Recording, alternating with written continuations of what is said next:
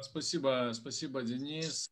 Спасибо за приглашение. Приветствую всех участников. Вижу Андрея, там Андрей Овсенко. Привет вам, привет всем нашим коллегам. Во-первых, я думаю, мы говорим про электронный суд, но мы не должны забывать, что суд сам по себе не существует. Это платформа, на которой разные другие скажем так, стейкхолдеры тоже должны участвовать. Когда мы говорим про электронный суд, нам нужно подумать, как этих стейкхолдеров привлечь. И это, конечно, не только стороны процесса, я бы сказал, это тоже институции, которые прямо связаны с делом.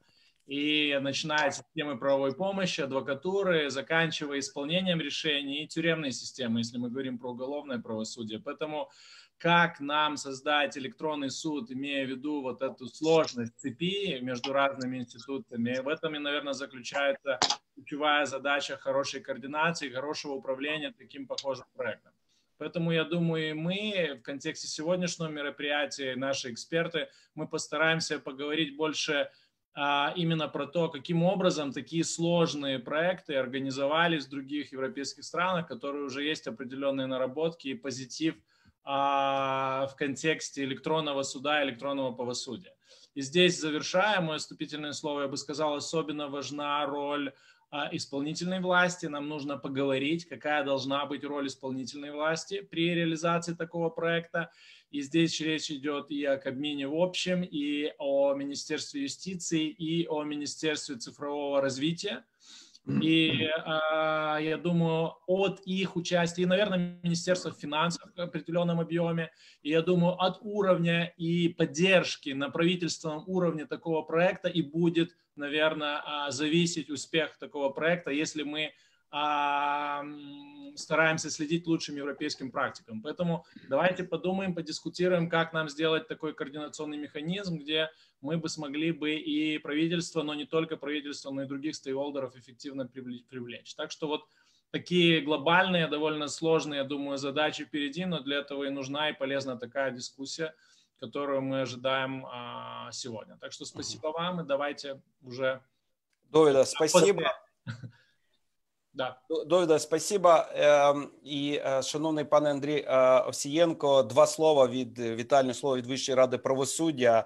І ви як відповідаєте за безпосередньо правосуддя в Україні як вищий орган. Які у вас бачення і які тенденції? Доброго дня всім. Дякую, Денис. Ну, два слова я не вкладусь. Я можливо заберу трошки більше по регламенту, але хочу сказати, що дійсно. На сьогодні ми е, особливо гостро відчули наскільки є важливою е, діджиталізація судочинства в цілому, тільки е, не лише досконалий або якісний процесуальний закон, а й технічна можливість також є важливою складовою на сьогодні якісного відправлення правосуддя і здійснення судочинства загалом.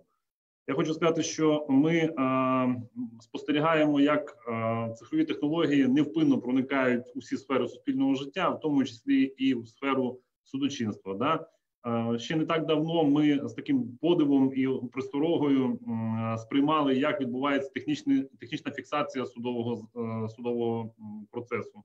На сьогодні звичною справою стала відеофіксація, відеотрансляція, відеоконференція. Тобто, ми розуміємо, що технічний прогрес буде складовою частиною і е, судового процесу, невід'ємною складовою частиною, і тому безумовно дуже е, е, широке поле для запровадження цифрових технологій і в процес здійснення судочинства.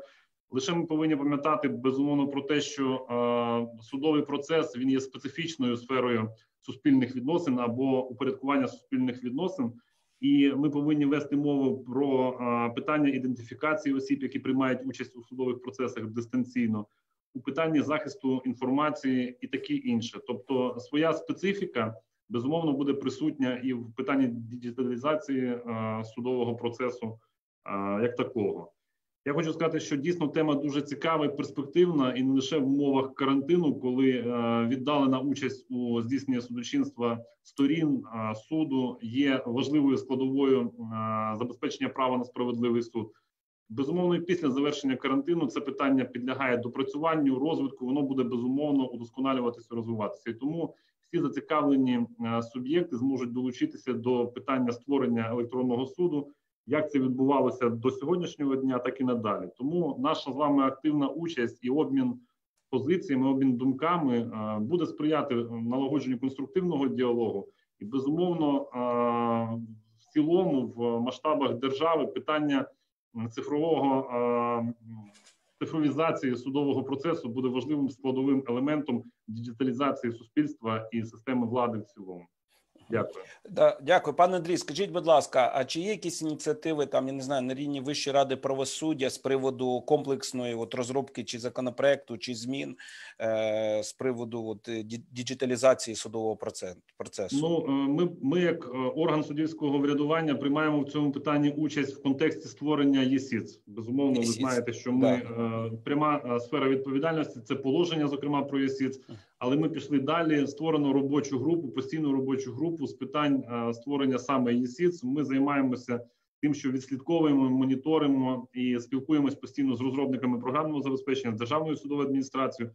Безумовно, зараз створена робоча група і на базі Верховної Ради. Е, Роман Бабій, зокрема, займається питанням створення ЄСІЦ також е, з точки зору бачення законодавця. Безумовно, ми приймаємо участь в обговоренні і напрацюванні тих ідей, які допоможуть допоможуть зробити цей процес вже відчутним і зрозумілим сьогодні, а не в далекій перспективі, там в 2021 році чи 2022 році. А карантин привніс е, певні особливості в цю процедуру, і ми на сьогодні маємо, як ви знаєте, вже система EasyCon працює, е, яка дозволяє дає можливість використовувати власні технічні засоби для участі в режимі відеоконференції у судових засіданнях. Тобто, це весь комплекс питань, до якого ми дотичні в силу тих повноважень і компетенцій, яка визначена нам законом. Дякую, пане Андрій. Дякую, що доєднались до нашої дискусії. Нам дуже приємно бачити вас в сьогоднішній нашій дискусії. І я вже хочу перейти до першого блоку і надати слово а, судді Верховного судді пані Олені Кібенко і Олена Рувимівна. Коротенький вступ. Ем, поки ми з вами, як юристи, дискутуємо там про відеотрансляції, як визначити особу і так далі. Про такі речі, от, от наприклад, вже молоде покоління е, студенти, студент-правник написав нам питання до обговорення. Можливо, ви два слова про це скажете. Чи є ідеї, плани щодо впровадження роботизованого судочинства, судді боти? Тобто, знаєте, молоде покоління юристів, які ще навчаються, вони вже готують е, питання роботизації, поки ми з вами дискутуємо, яким чином організувати онлайн засідання суду. Е, пані Олена, прошу. Е, дуже дякую, всіх вітаю. Ем, в принципі, мій виступ він, мабуть, буде таким більш емпіричним, тому що е, з моменту початку роботи е, своєї в Верховному суді я займалася питаннями функціонування створення ЄСІЦ. Е, тому що входила і очолювала групу е, з питань менеджменту та комунікації Верховного суду, і наша група активно комунікувала із інформаційними судовими системами, із ВРП, із різними органами, які займалися питаннями створення е, електронного суду, ЄСІЦ. І от якраз хочу поділитися, мабуть, цими враженнями, тому що. Е, тема була сформульована як передумови е, запровадження електронного суду, і е, за ці там два з половиною роки бачила певні помилки, і хочу, щоб вони не повторилися. Тому, от, мабуть, на, на про це хочу е, більш детально поговорити. Е, ну, по-перше, що таке електронний суд, що таке ЄСІЦ, у всіх було е, абсолютно різне бачення. Як на мене, перша помилка, про яку нам неодноразово казали наші партнери з-за кордону, це ну, дуже таке е, бажання охопити все і вся ЄСІЦ, тобто е, дуже багато модулів, е, які намагалися запровадити одночасно у всіх судах, і фактично така ну, глобалізація завдання вона призвела е, можливо до краху. Тобто, як на мене, зараз і е, робота в умовах коронавірусу це підтверджує. Е, основними двома елементами, які мають бути в електронному суді це фактично два кабінети. Це кабінет е, учасника процесу, е, що кабінет учасника процесу дає можливість е, зареєструватися, ідентифікувати особу учасника там за допомогою різних засобів, і фактично, що отримувати, надсилати документи, отримувати документи від суду, знайомитися з матеріалами справами, знайомитися з аудіозаписом засідання. Чи відеозаписом, якщо він е, є, е, сплачувати судовий збір, там інші платежі, отримувати інформацію, ну і е, фактично контролювати справу, щодо якої учасник процесу був зареєстрований, бачити в режимі постійному інформацію щодо цієї судової справи. Тобто, в принципі, функцій небагато і вони не є складними. Ну, Якщо подивитися, як в нас працюють банки, як в нас працює електронний там кабінет платника податків. Е, щодо програмного забезпечення, я не розумію, е, вірніше вважаю, що не має бути якихось складнощів чи труднощів у запровадженні відповідного програмного програмному забезпечення. Щодо суддів, е, в нас теж є певні проблеми, тобто ми потребуємо електронного кабінету суддів. Е, електронним кабінетом судді, на жаль, е, інформаційні судові системи майже не займалися. Тобто, взяли за основу те діловодство, яке ми мали. Е, у судах на сьогоднішній день всі суди вони підключені до системи діловодства. Це різні системи у різних судах працюють, але фактично в нас, документообіг він автоматизований, комп'ютеризований, і просто цю систему намагалися довести до стану там електронного суду. Але, як на мене, це помилка, бо система дуже незручна. І е, це адаптація старої системи під нові запити, вона, е, ну, як на мене, це помилковий шлях розвитку. Чому? Е, тому що, наприклад, всі е, ті програми, якими користуємося, вони, ну, можна сказати, не user-friendly. І тому багато суддів вони уникають користування, е, залучають помічників. Знову таки, е, я постійно кажу, що треба було робити аудит процесів, аудит навичок, бо е, ми розуміємо, що всі судді е, по-різному володіють там навіть комп'ютерними навичками. Якщо людина не користується комп'ютером, не працює з комп'ютером, суддя, то е, ми, маємо розуміти, що е, так, такий суддя буде з застереженням ставитися до запровадження електронного суду, буде протидіяти запровадженню електронного суду, протидіяти запровадженню окремих елементів електронного суду, і це окремий напрямок, з яким потрібно працювати. У нас не так багато суддів, у нас там 5 тисяч суддів залишилося. Просто зробити аудит навичок, і якщо е, необхідно, то провести якесь навчання, але будь-яке навчання воно буде зайвим, якщо не буде зручної програми. От я навіть хочу для учасників там навести приклад моєї мами. Там зазвичай е, літнім людям там дають дуже прості модели телефонів для того, щоб вони там там пару кнопочок було, було зручно користуватися і все. Нещодавно мамі подарувала ну там в умовах ізоляції. Вона одна подарувала їй айфон, е, і їй так сподобалося. Тобто, ну е, зазвичай вважала, що що смартфон людини, який там під 80 років, вона не подолає. Але вона каже: Боже, це так зручно. Тобто, порівнянні з звичайним там оцим там незручним кнопочним телефоном, айфон був зручним, і тому вона дуже дуже швидко, там майже за тиждень там подолала і все почала користуватися. Так само і з програмами. Я знайомилася з досвідом запровадження електронного суду в різних країнах, і оце питання, що програма програмне забезпечення має бути user-friendly, тобто е, простим, не, не має бути спеціального навчання, не не повинно бути там довгих інструкцій. От навіть у нас щодо відеоконференції я подивилася, щось роздрукувала 10 сторінок та той наказ ДСА щодо запровадження режиму відеоконференції. Це складно, ну, такого не має бути. Програмне забезпечення має бути зручним, простим для того, щоб люди ним користувалися. Це стосується не тільки суддів, а й учасників процесу. Якщо буде незручне програмне забезпечення, буде все, все підвисати, незрозуміло буде, як все робити. Тобто е, має ну людина має працювати інтуїтивно. Гарна програма, гарне програмне забезпечення це коли людина може зайти інтуїтивно виконати основні функції. Оце має бути, бо в судах зараз все у нас е, документообіг є.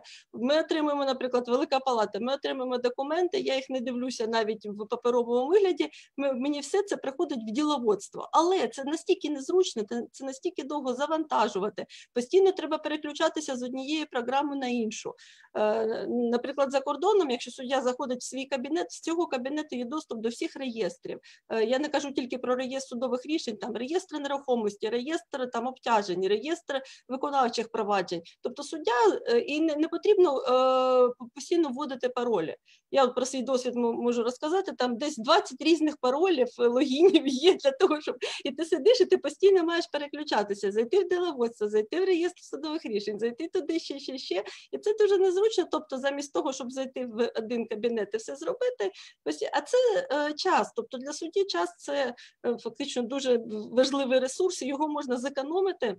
завдяки цьому. Але це на майбутнє. Тобто, якщо е, починати про розробку, ми ведемо ведемо мову про розробку електронного кабінету, зручність, простота функцій. І е, для чого для цього треба ще ну чого не зробили, мені здається, розробники ЄСІЦ до е, цього моменту, і що робили за кордоном, запроваджуючи електронний суд, це аудит процесів. Тобто зараз ніхто не розуміє, як відбуваються процеси в суді. Я не маю на увазі саме судовий процес як засідання. А що відбувається? От приходять документи, хто їх сканує, як вони обравляються, як вони потрапляють до судді, як потім суддя з ними йде в процес чи не йде, чи він там несе їх під пахву, чи він в електронному вигляді їх використовує. Бо в різних судах різні процеси. Це все треба було б зробити аудит і фактично цю програму вже підлаштувати під ті е, бізнес-процеси, там бізнес в плані е, організаційні процеси, які є в судах. Ті процеси в судах підлаштувати під е, програму дещо, але вони мають бути наближені. А фактично в нас програмою СІЦ писали програмісти, які ну уяви не мали про те, що відбувається в судах, і тому програма вийшла така, що її дуже важко було застосовувати. Тобто аудит, аудит ресурсів, аудит е, процесів, аудит навичок у суддів і е, працівників апарату, які це будуть використовувати. От, е, ну, Наприклад, дуже часто там сміються, що в реєстр потрапляють судові рішення ну, з якимись там віршами чи там там бла-бла-бла. Чому це відбувається? Тому що зараз судове рішення завантажується в реєстр в вигляді звичайного док, вьордовського документу. Тобто судді підписали один документ з підписами, але він не сканується, нічого з ним не робиться, і е, просто вьордовський документ завантажується в реєстр і потім вже ще підписується електронними підписами. Наприклад, в Великій Палаті потрапляння до реєстру документу з помилками мала, бо 21 е, суддя підписано чи менше там в залежності від е, складу суду в певний день. Але якщо там вже 21 суддя підпише, хтось перевірить, обов'язково ще раз текст документу перечитає, перегляне, не буде таких помилок. Але це неправильне завантаження. Тобто е, наступна помилка, про яку я хочу сказати, це те, що ми, запроваджуючи електронний суд, не позбавляємося паперової роботи. Тобто, якщо ми запроваджуємо електронний документообіг, електронний суд, ми маємо позбавлятися е, паперового документообігу. Тому що немає сенсу. Ну, По великій палаті це взагалі доводиться до абсурду. Тобто, от у нас є там рішення, яке нам треба підписати. Спочатку ми збираємо підписи 21 суддя Великої Палати, підписує паперово.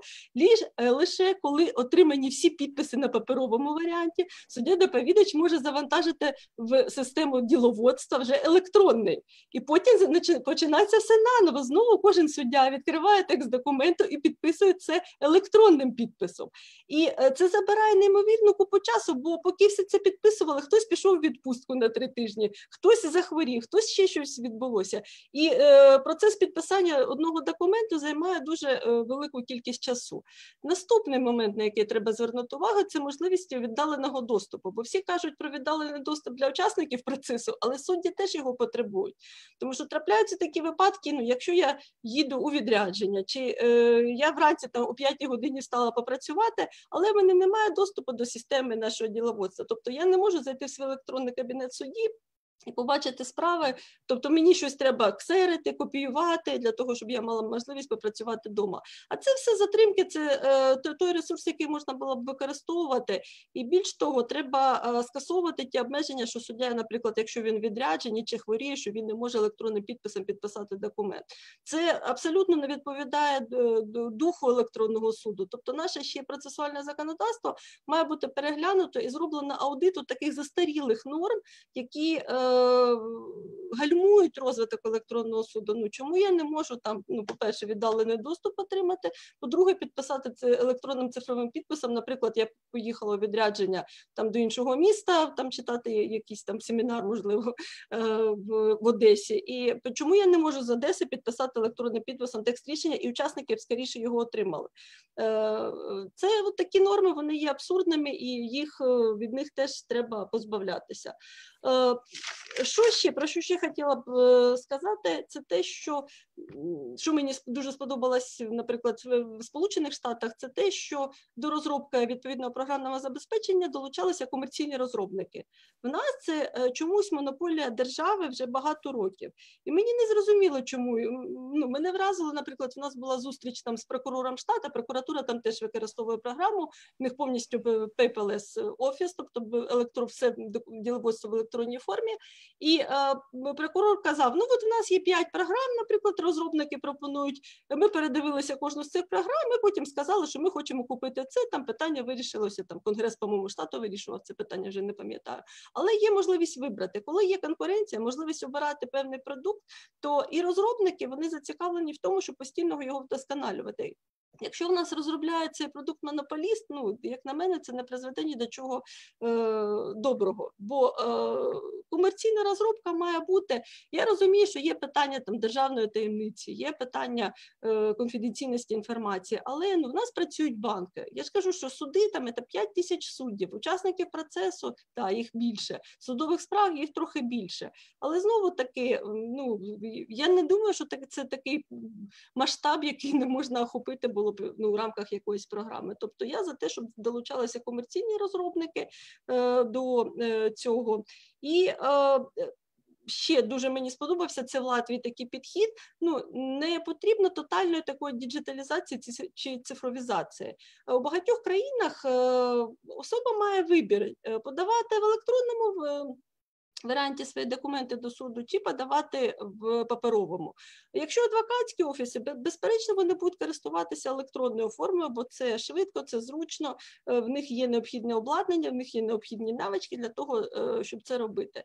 І знову таки, там, якщо згадати інші країни, мені дуже сподобалось, що ну, треба розуміти, що судова система вона завжди буде е, ну, не, не дуже з великим ентузіазмом впроваджувати електронний суд. І от всі казали, продайте спочатку цю систему адвокатам. Адвокати мають змусити суспільство, суддів, там ВРП інші органи застосовувати таку систему. Якщо адвокати не підключаться, не буде такого тиску з боку адвокатів, то система не запрацює. Ну не буде суддя, який звик працювати там 10-20 років вже ну, відповідним чином. Це дуже важко перелаштовуватися. Тобто, ну наприклад, для мене особисто не було важко, але я працюю в суді два з половиною роки всього навсього До цього було ну працювала в юридичному бізнесі, там користувалася всіми сучасними програмами. І коли потрапила до суду, я бачу, наскільки суди відстають від того, що навіть ну, на сьогоднішній день, наприклад, існує в адвокатській спільноті. Тому якраз от функція адвокатів, е, юристів має бути ну, підштовхувати цей електронний суд. Без цього ми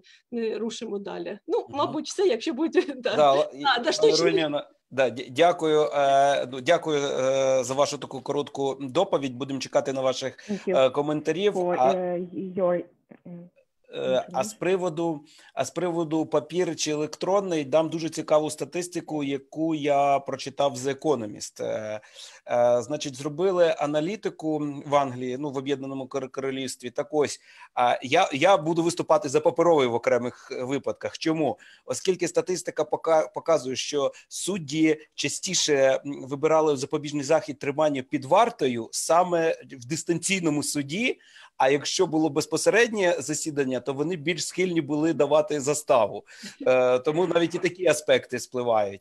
Е, Олена Румімівна, ну з однієї сторони, якось достатньо е, ну не то, що негативно, але так дуже багато яких певних заперечень. Але якщо дуже коротко, п'ять конкретних кроків ви запропонували. Це безумовно user-friendly система, е, нескладна система лише з двома кабінетами: кабінет судді, кабінет учасників процесів для судді, інтеграція з іншими іншими базами, існуючи для того, щоб це працювати в одному е, вікні, зробити спочатку аудит процесів, потім їх відцифрувати. Ну і коментарі я вже бачу у нас, що теж люди кажуть, що там, де є монополія, там якості не буде.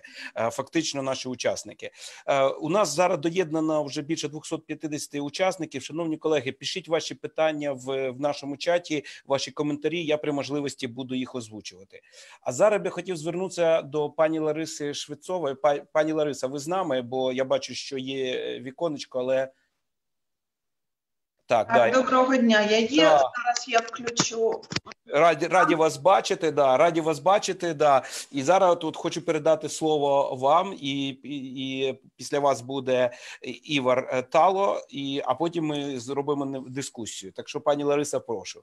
Доброго дня, шановні колеги. Мені як завжди дуже приємно приймати участь в такому заході, особливо стосовно тієї тематики, яка для Вищої ради правосуддя на теперішній час є однією з пріоритетних. Це затвердження положення про ІСІЦ, як вже зазначив е, Андрій Анатолійович, дійсно відповідно до закону про Вищу раду правосуддя, саме на Вищу раду правосуддя покладений обов'язок щодо затвердження положення про ІСІЦ.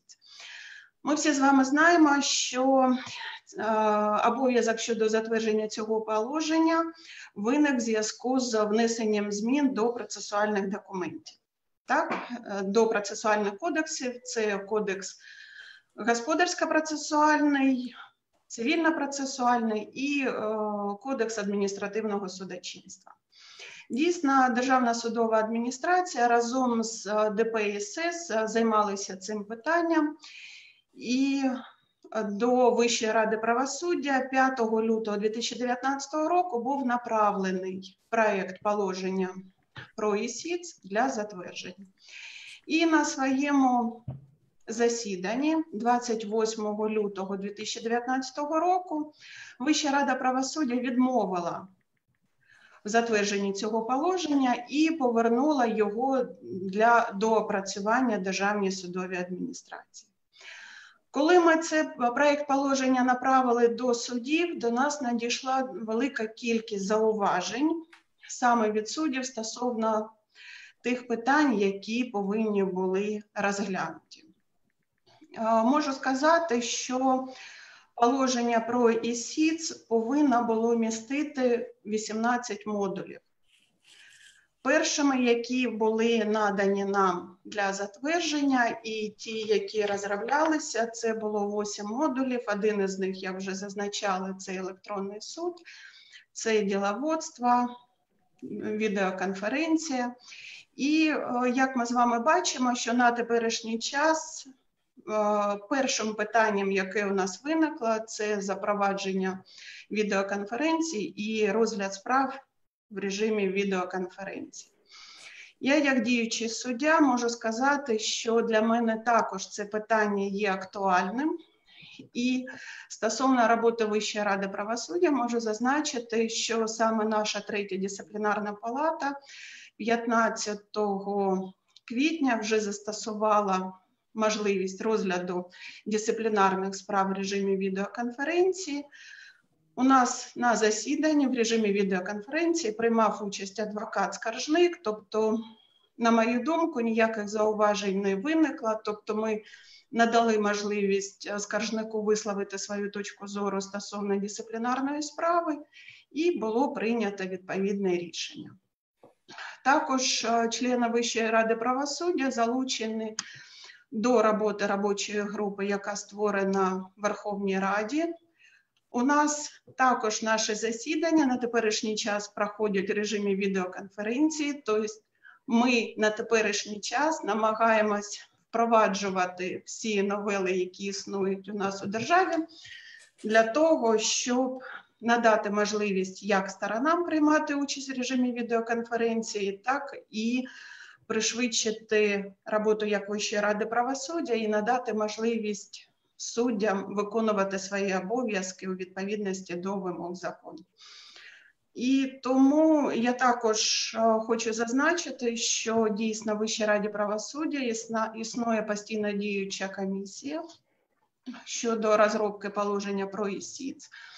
До цієї комісії включені як члени Вищої ради правосуддя, представники Державної судової адміністрації ДПСС, також е, представники Ради суддів і представники більшості судів, які е, зацікавлені в цьому питанні.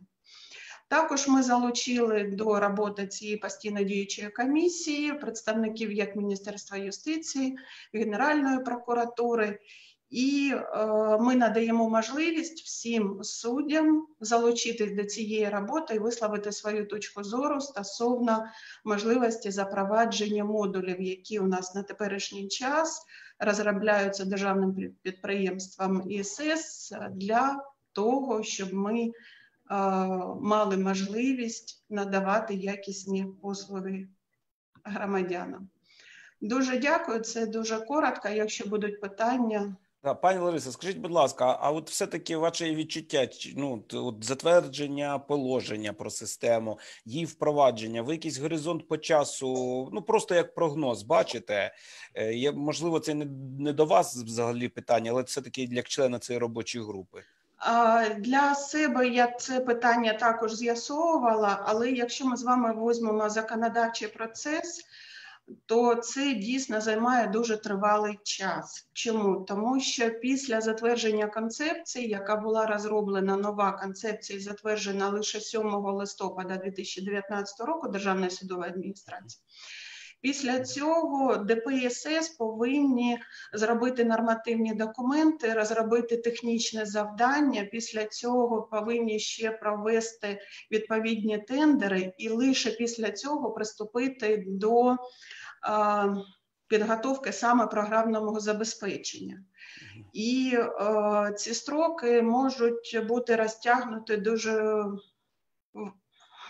дуже дуже дуже ну, я я вам відверто. Ви ви намалювали тільки що алгоритм. Ви знаєте, звучить дуже страшно з точки зору так. його впровадження, з точки зору кількості бюрократичних процесів. Да, е, да, звучить достатньо дуже складно. Ну давайте так сприймати а, це як данину. Да, як доміно можу сказати, що саме Вища рада правосуддя взяла на себе обов'язок щодо контролю за створенням цього положення про ІСІЦ, і тому ми запропонували і державні судові адміністрації, і ДПСС впровадження цього положення помодульно.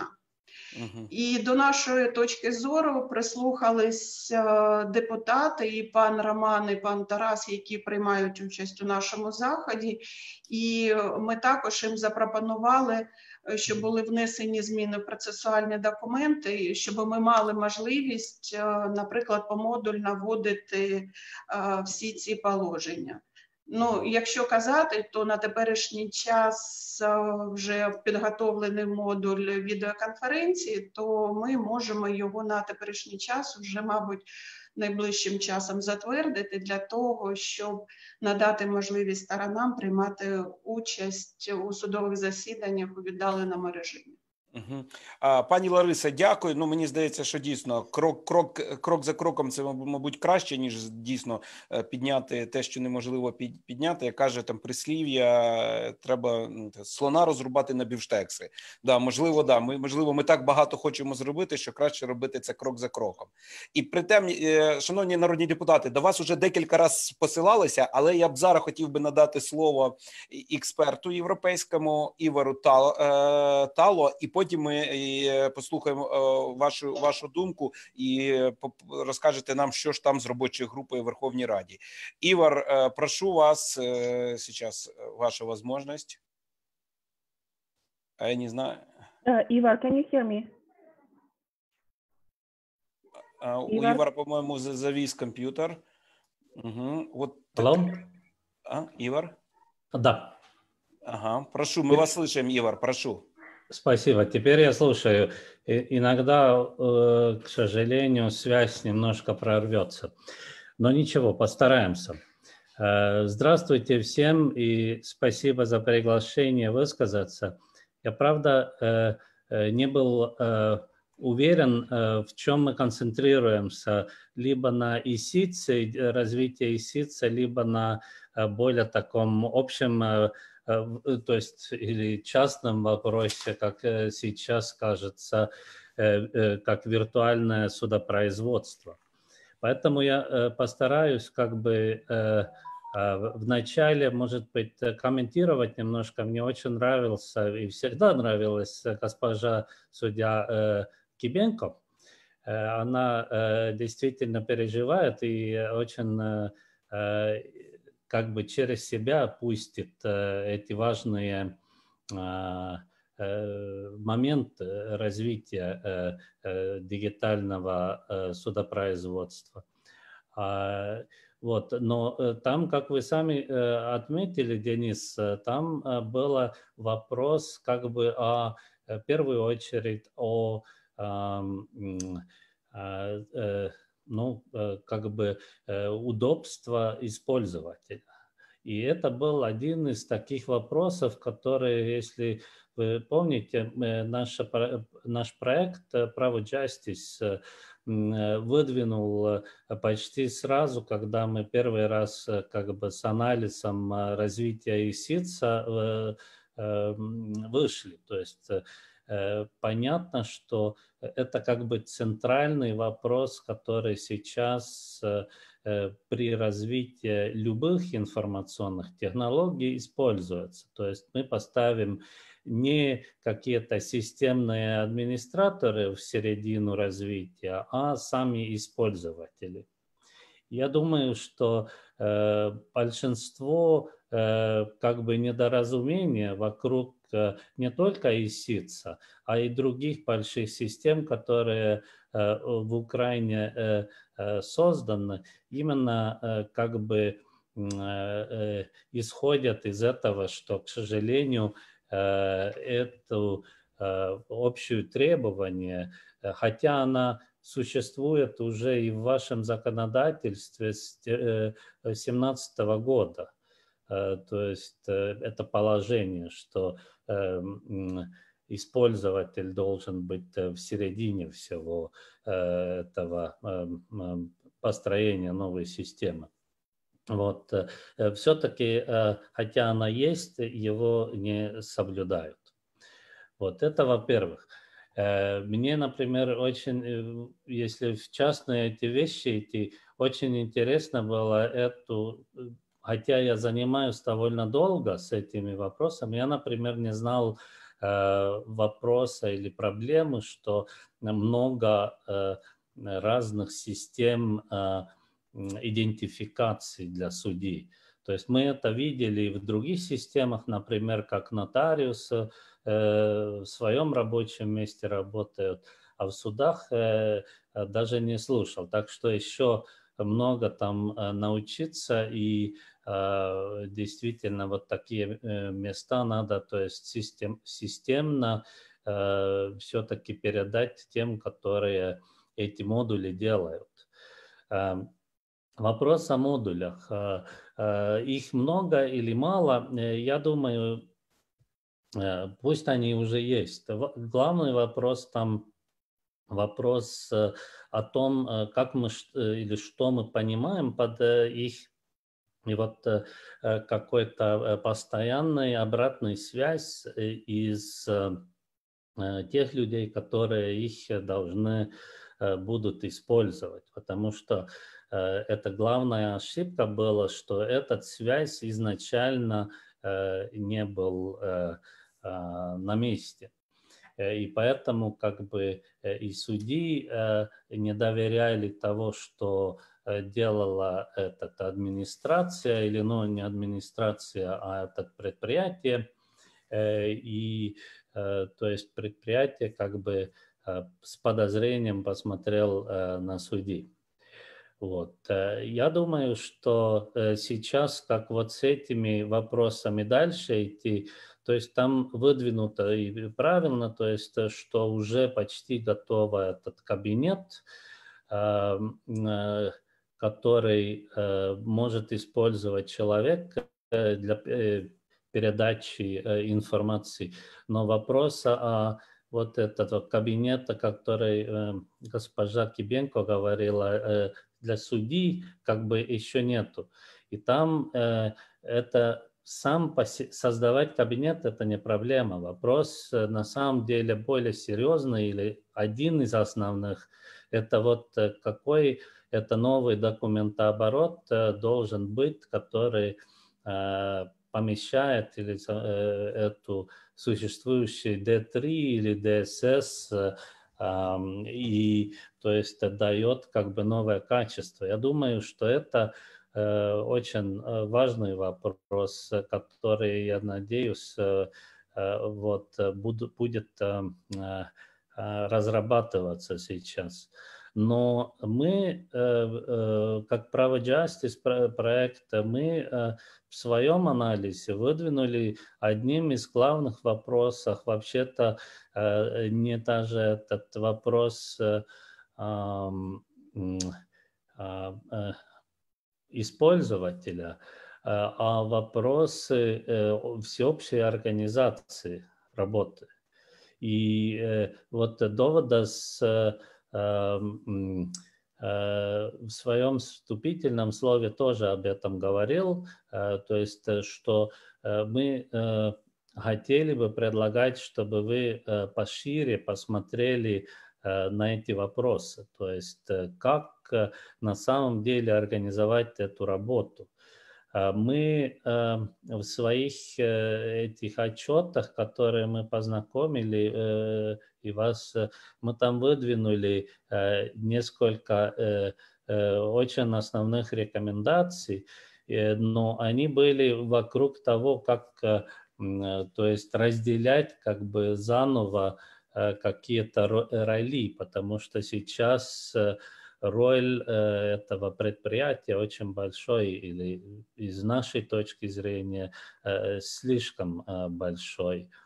Вот. Но на самом деле кажется, что или ну, непонятно, я думаю, это надо, надо думать, как может быть выйти еще шире или еще как бы посмотреть на, на этот комплекс не только внутри системы судоводства самого, а может быть в государственном уровне. И здесь, то есть, такие общие есть замечания, может быть, там будет время еще про это говорить и на основе литовского опыта.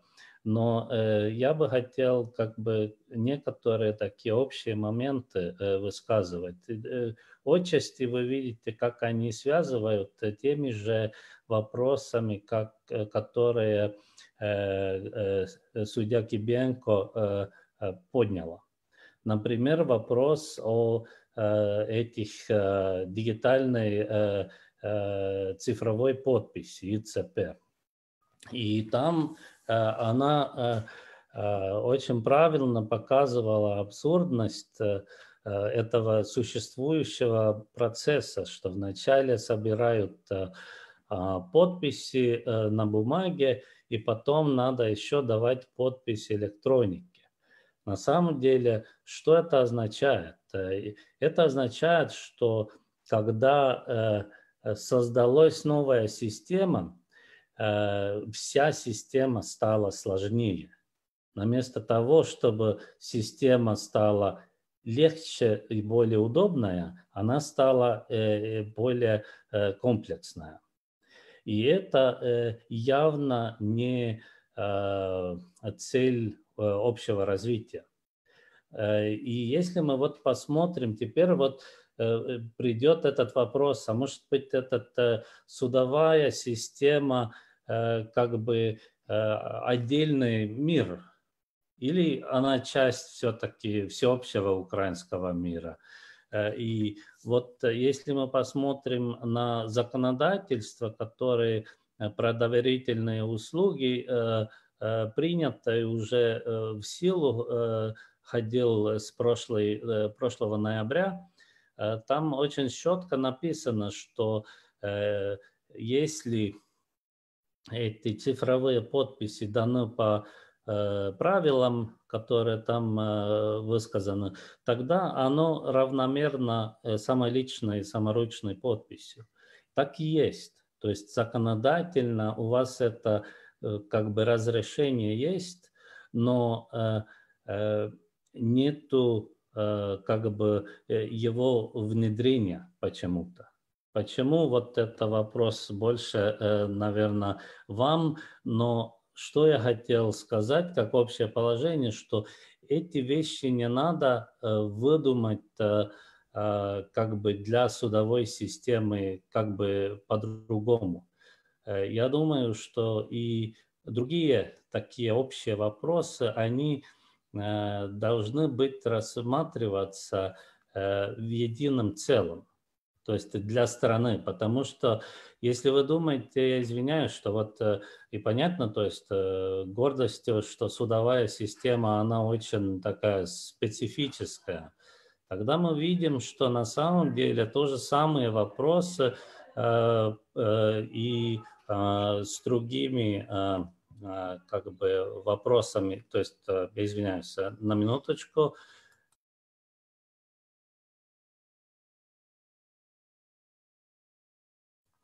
Извиняюсь, у меня э, э, вот. И поэтому, то есть, э, эти вопросы надо как бы совместно с, посмотреть с исполнительной властью. Как вот тоже вот эти принципы там дигитальный как бы вперед, digital by default, который начинается, то есть как общий принцип развития, как Э, то, что once only, то есть э, используем э, каких-то, скажем, требований, то есть внедрять в какие-то формы данные один раз только. Это такое всеобщее требование, которое все соблюдают. И я не думаю, что для судового этого надо что-то другое. То есть, но правильно э, и можно сказать, э, вот если мы перейдем на этот э, как бы вот именно виртуальное судоводство, то есть надо ли там какие-то особые требования или не надо. Я думаю, что то есть с одной стороны понятно, то есть что есть общие требования, скажем, для безопасности. Но эти общие требования безопасности, то есть вы можете сравнивать какими-то требованиями, у которых еще есть э, безопа- вопросы безопасности. Поэтому не надо как бы э, э, как бы развивать это совершенно по-иному, нежели в исполнительной власти. И вот отсюда исходит опять этот вопрос что госпожа Гибенко использовала, насколько, то есть Э, удобная система должна быть. Я думаю, что я полностью поддерживаю ее, что это судьи должны это сказать технарям, как они хотят это видеть, э, использование. Не технари э, какого-то либо офиса, то есть там администрации судового, либо вообще компании, которые будет как бы определять это э, за судьи. Вот. Э, э, эти вот такие вещи, я думаю, что они основные, то есть такие сверху надо решать, и многие из них уже решены на уровне исполнительной власти. И э, я думаю, что здесь для судового всего этого мира надо Э, более просто и познакомиться с этими э, э, вопросами. Вот. Но главное, вот я думаю, что именно, что не надо посмотреть в начале всех отдельных деталей, а надо системно общаться и обратиться к этим и адресовать. А с другой стороны, что мне, например, очень, если мы посмотрим на сегодняшний день, если я перешел бы сейчас больше на, этот, на что я подготовил свою презентацию, я хотел сказать, что мы должны э, э, четко себе дать, дать отчет в том, что э, после окончания этой коронакризиса, то есть когда все заперли, Э, жизнь э, э, по всей вероятности не вернется к тому, что оно было.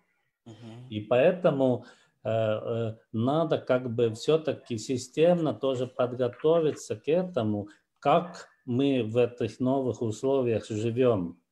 ибо такого я не думаю, что будет, что вот в какой-то момент выключают как бы эти требования и скажут, вот теперь все как прежнему. То есть, ну, что можете собираться, можете делать. Я думаю, многое переходит в онлайн виртуальную среду, и этого буду, и я не вижу в этом никакой катастрофы. То есть мы как бы, то есть э, с этими организациями, которыми я работал, мы давно уже как бы говорим, что э, эти каналы готовы. А вот теперь надо, чтобы с вами договориться о э, некоторых положениях. Например, в этом э, сейчас у вас есть решение э, администрации, э, государственной администрации судов, что надо использовать одну систему, EasyCon называется. И я не знаю еще, если это EasyCon хороший или плохой, но я знаю, что как общий принцип, э, мы уже 20 лет не пишем э, название э, э, софта э, в какой-то регули, э, регу, регуляцию, потому что она будет иметь негативные последствия. И она имели, имела негативные последствия 20 лет назад в исполнительной власти и будет иметь Э, и в судебной власти, если мы не научим как бы из э, этих э, вопросов. Поэтому надо говорить о требованиях. И, ну, например, вопрос, надо ли заставить судей использовать что-то. И если мы говорим о виртуальное судоводство, я думаю, что все-таки Э, э, но это ваш вопрос, конечно, но э, это надо судью как бы дать автономию решать. Судья должен для себя решать.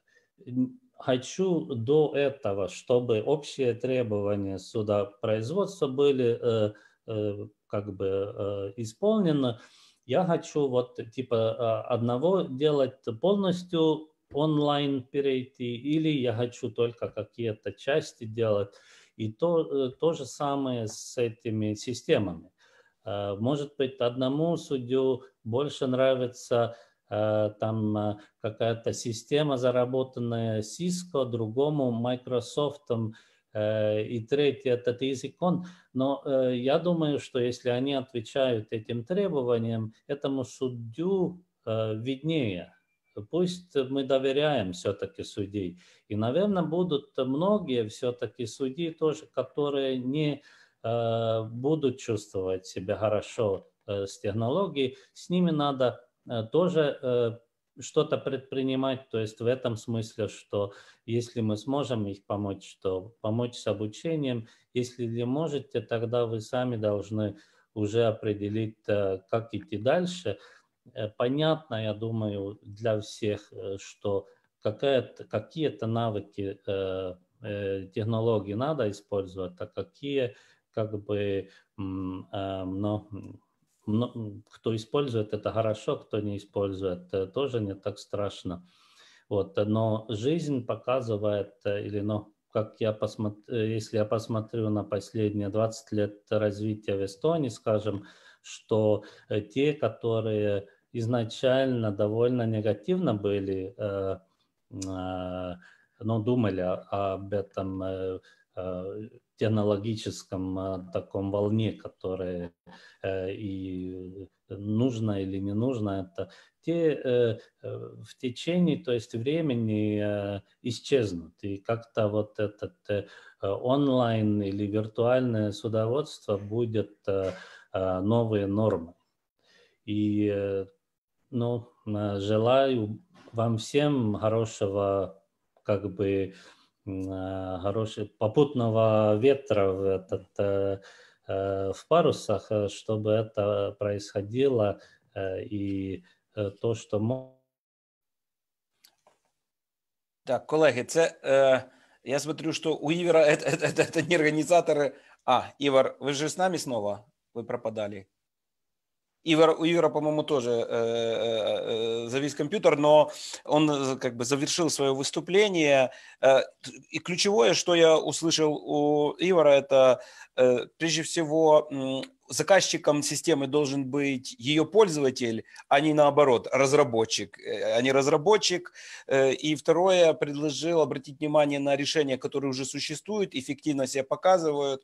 То есть не надо выдумывать нич- велосипед, ничего нового э, для судебного, для электронного суда, если есть работающие инструменты. Довидас, ты хотел два слова прокомментировать, и после тебя мы перейдем а. к, к народным депутатам, к Тарасу да, Тарасенко. Да. Ивар уже резюмировал ту технологическую управленческую составляющую, которая должна быть для такого проекта э, сложного. Но я хотел бы добавить дополнительно еще, назовем это такой чисто правовую составляющую, которая должна присутствовать для того, чтобы у нас этот проект удался. Нужно понять, во-первых, что электронный суд, по большому счету, если можно его а, резюмировать, это, во-первых, упрощенная система доказывания. И поэтому нам нужно думать серьезно о том, а как мы смотрим на вообще процессуальные права и возможности, и не только в контексте процессуального законодательства, но вообще, что надо и в каком объеме в обществе доказывать в 21 веке. Ответ существенно меньше, потому что очень много вещей мы подразумеваем на основе презумпции, поэтому объем и уровень доказывания вообще нужно серьезно пересмотреть что такое и как создаются презумпции, нужно пересмотреть. А роль документов, как доказывающего документа, нужно вообще упростить до минимума, потому что в современном 21 э, веке презумпции о факте создаются на основе данных, а не документов. Если мы говорим про данных, нам очень важно дискутировать про реестры, качество данных в реестрах, правовое а, значение данных, которые существуют в реестрах и так далее. Поэтому я бы хотел бы обратить это внимание, не забывать этот элемент, что, во-первых, нам нужно стремиться к упрощению доказывания.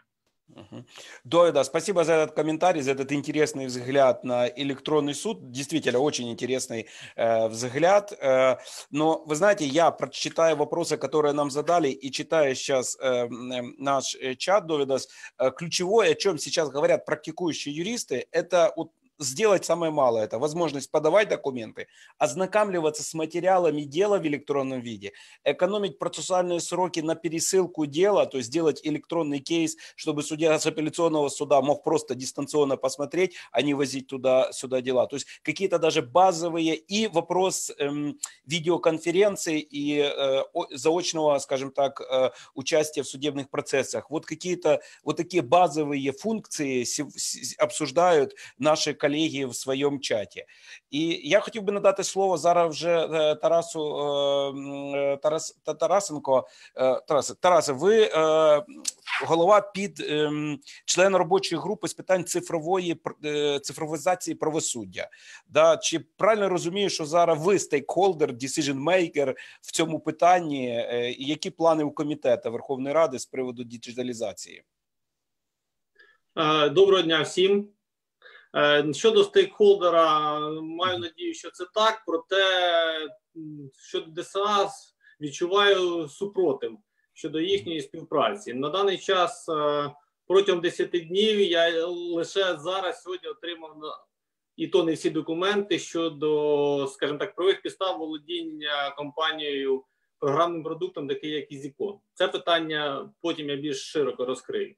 Е, на даний час хотів сказати про те, що як законодавець ми прийняли відповідне рішення, внесли зміни в процесуальні кодекси про те, що суд має право проводити дистанційно судові засідання і повинен засвідчити особу за цифровим підписом або за допомогою демографічного реєстру.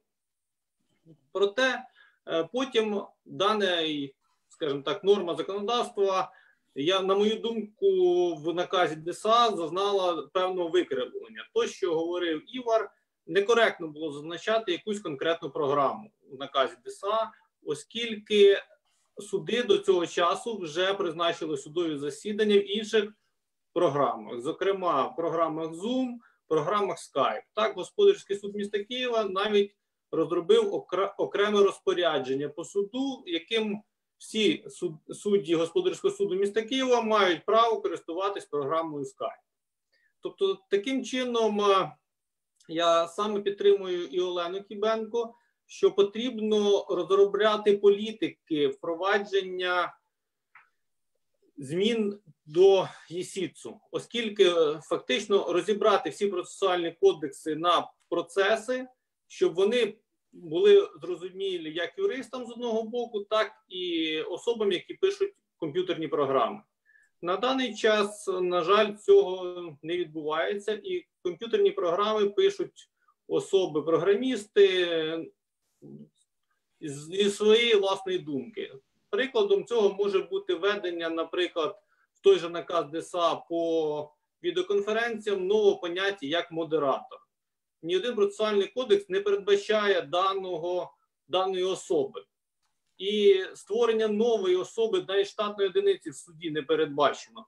Проте наказ ДСА передбачив модератора. Пояснюється це тільки одним, тому що програма EasyCon, вона передбачає модератора, і це є ну, ем, скажімо так, посада модератора, вона включена в договір на обслуговування EasyCon, яка розроблена для приватних осіб, для юридичних осіб. Тому ця особа і вписана в наказ ДСА. На даний час ДСА е, розробило зміни до цього наказу. Я надіюсь, маю надію, що найближчим часом вони будуть впроваджені. Проте в робочу групу вже скинули допрацьовані зміни. Ми над ними трохи попрацювали і ще продовжуємо працювати більш, ну скажімо так, е, суворому вигляді, щоб виключити повністю будь-які посилання на е, назви програмного забезпечення, а залишити лише вимоги до системного програмного забезпечення.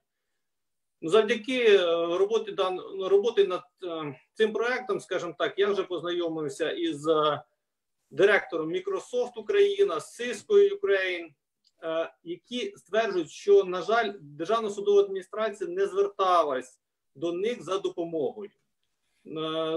Скажімо, це не реклама, проте дані компанії надали для Верховної Ради України безкоштовно на півроку і на три місяці ліцензії для використання власних програм.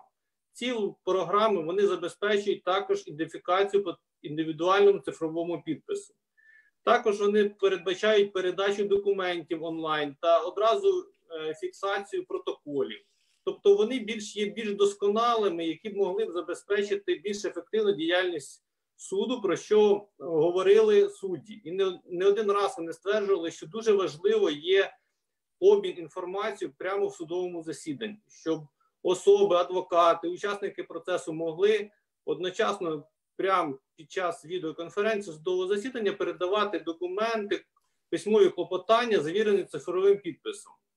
На даний час EasyCon цього не передбачає, проте інші платформи передбачають і насправді можливо домовити, щоб безкоштовно їх використовувати в даний час. Ну, протягом певного періоду, відповідно. Е, окремі питання також виникають. Ну, це вже наступні питання до розвитку. Взагалі виникають електронного правосуддя. З Романом Чумаком е, були на спілкуванні Харківській правозахисній групі. Там піднімалось питання доступу до правосуддя через відеоконференції осіб з обмеженими можливостями, з вадами слуху. Тому це питання я вже звертав це увагу на це ДСА, щоб вони подумали, як як можливо забезпечити судоперевод. Надіюсь, найближчим часом це буде можливо. Е, щодо доступу до демографічного реєстру, над цим працюємо, щоб також суди мали доступ до демографічного реєстру і могли ідентифікувати осіб безпосередньо по даним паспорту. Питання щодо ідентифікації виникало дуже часто по банк ID, проте це питання вже більш чіткої ідентифікації особи, і чи влаштує суд така ідентифікація особи.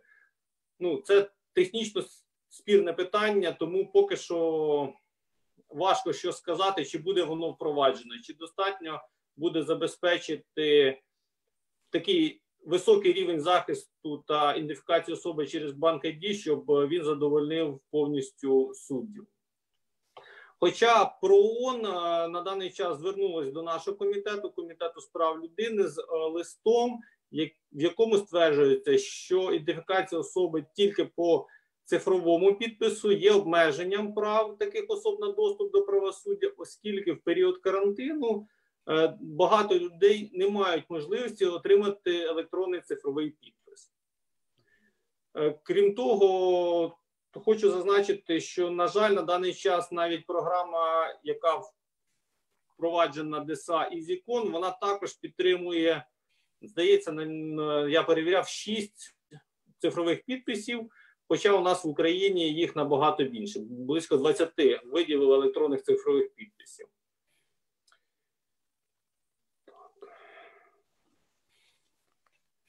Пане Тарасе, дозвольте короткий коментар. Я Так. ось е, слухаю всі виступи. Да? Ну і шановні колеги, я однозначно приходжу до висновку, що всі критикують монополію. Я б там не хотів би там переходити. На жаль, немає у нас представника ДСА.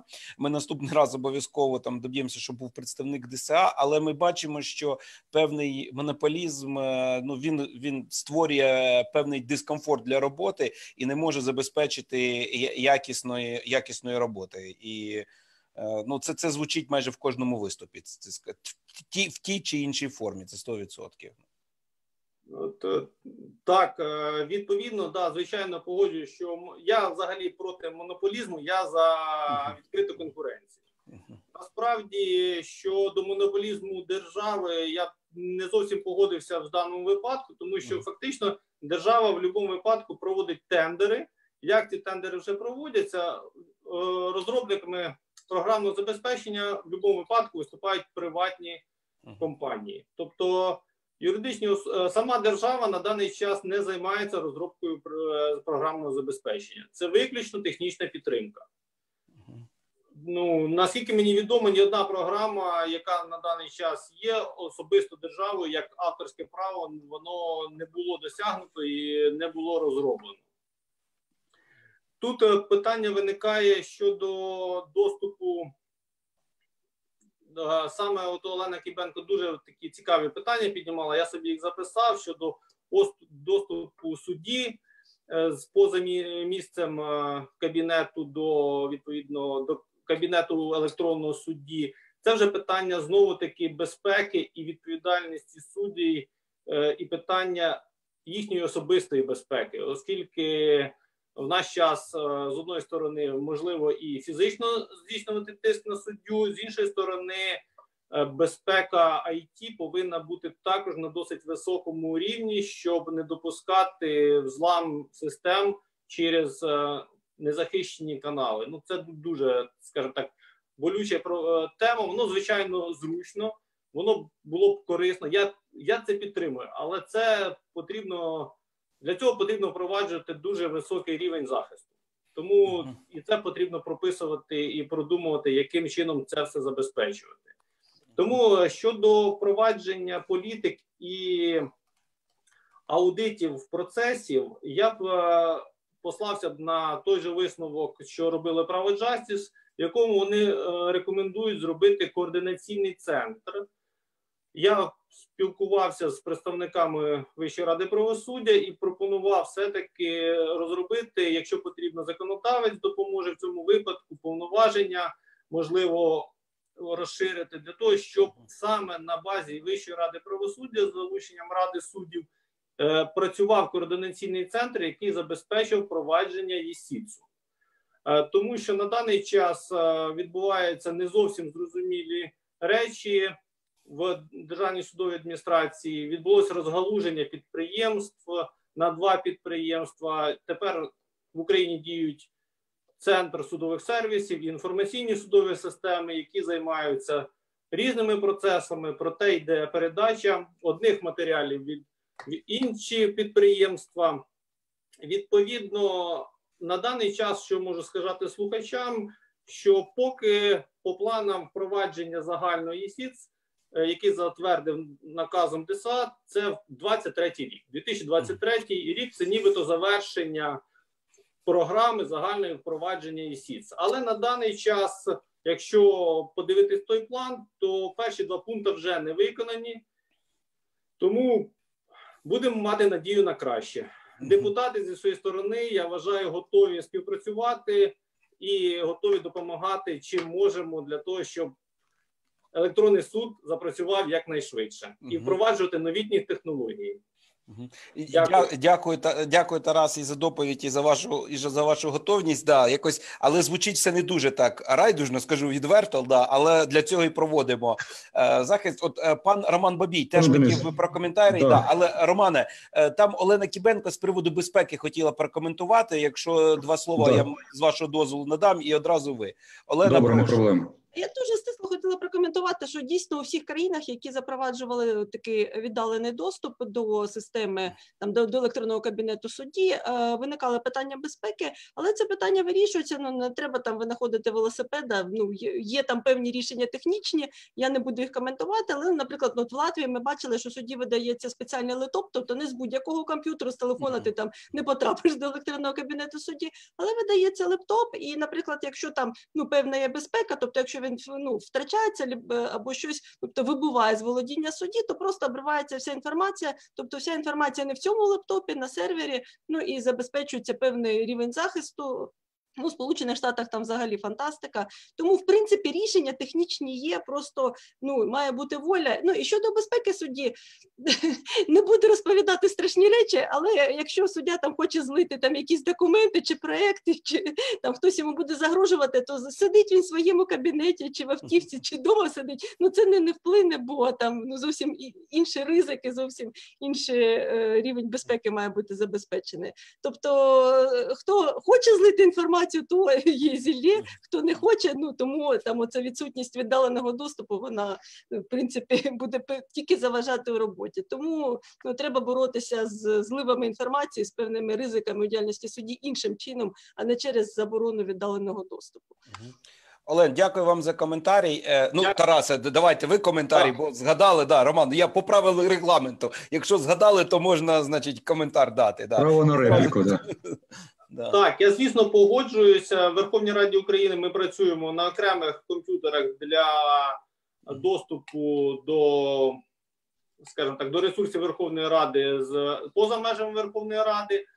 Проте технічне вирішення даного, скажімо так, питання дуже складне і воно потребує дуже великого навантаження на саму систему. Комп'ютери підвисають. Поки що я говорю, що це необхідно впроваджувати. Проте шукати саме шляхи для кращого впровадження для того, щоб досягти ефективності, щоб було зручно працювати в будь-якій системі. Як ви говорите, е, useful, щоб воно використовувалось легко і просто. Дякую. Угу.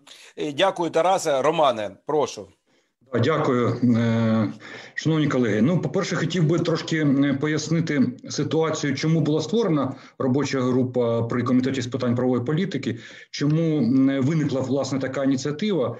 Ну, коли е, депутатський корпус нинішнього скликання отримав свої повноваження, ну і відповідно почали вивчати, яка ж ситуація е, більш глибоко з використанням своїх депутатських повноважень, почали вивчати, яка ж ситуація з впровадженням ЄСІЦ, який мав запрацювати в лютому 2019 року, якщо не помиляюсь, було оголошення, але так і не запрацював.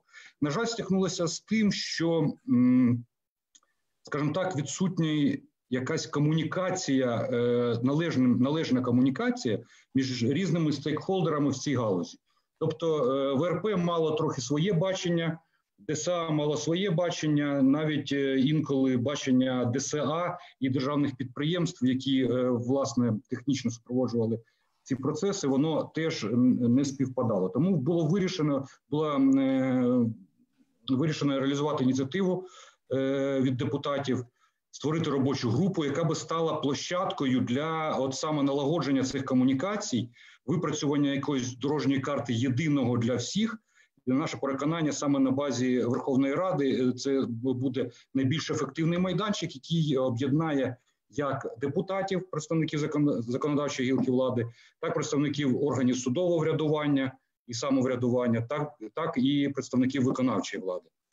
Е, Власне, це і послужило, е, скажімо так, е, поштовхом для створення робочої групи. Ряд питань які пов'язані з з функціонуванням суду онлайн або дистанційного правосуддя.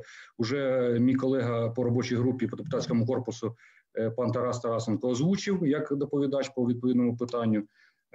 Дійсно були на останньому засіданні робочої групи, яке було присвячено саме обговоренню теми функціонування онлайн ну, функціонування судів з допомогою там якихось певних е, інструментів, які е, забезпечують онлайн доступ до правосуддя. Е, воно обговорювалося і висловили застереження щодо саме того, що ДСА в своєму положенні м, визначило єдину е, програму для відеоконференції. Це EasyCon.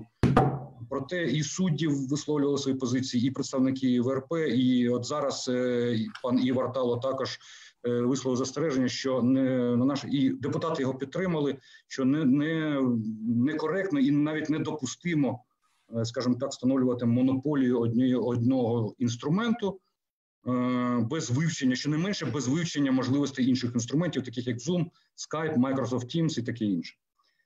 Щодо впровадження помодульно системи ЄСІЦ, Власне, ця е, ця позиція підтримана знову ж таки е, практично всіма членами робочої групи. Ну не практично всіма членами робочої групи від всіх від ДСА і від ВРП. Пан пані Лариса теж сьогодні про це говорила. Е, і ДСА розробляє наразі зміни пропозиції свої щодо змін до законодавства.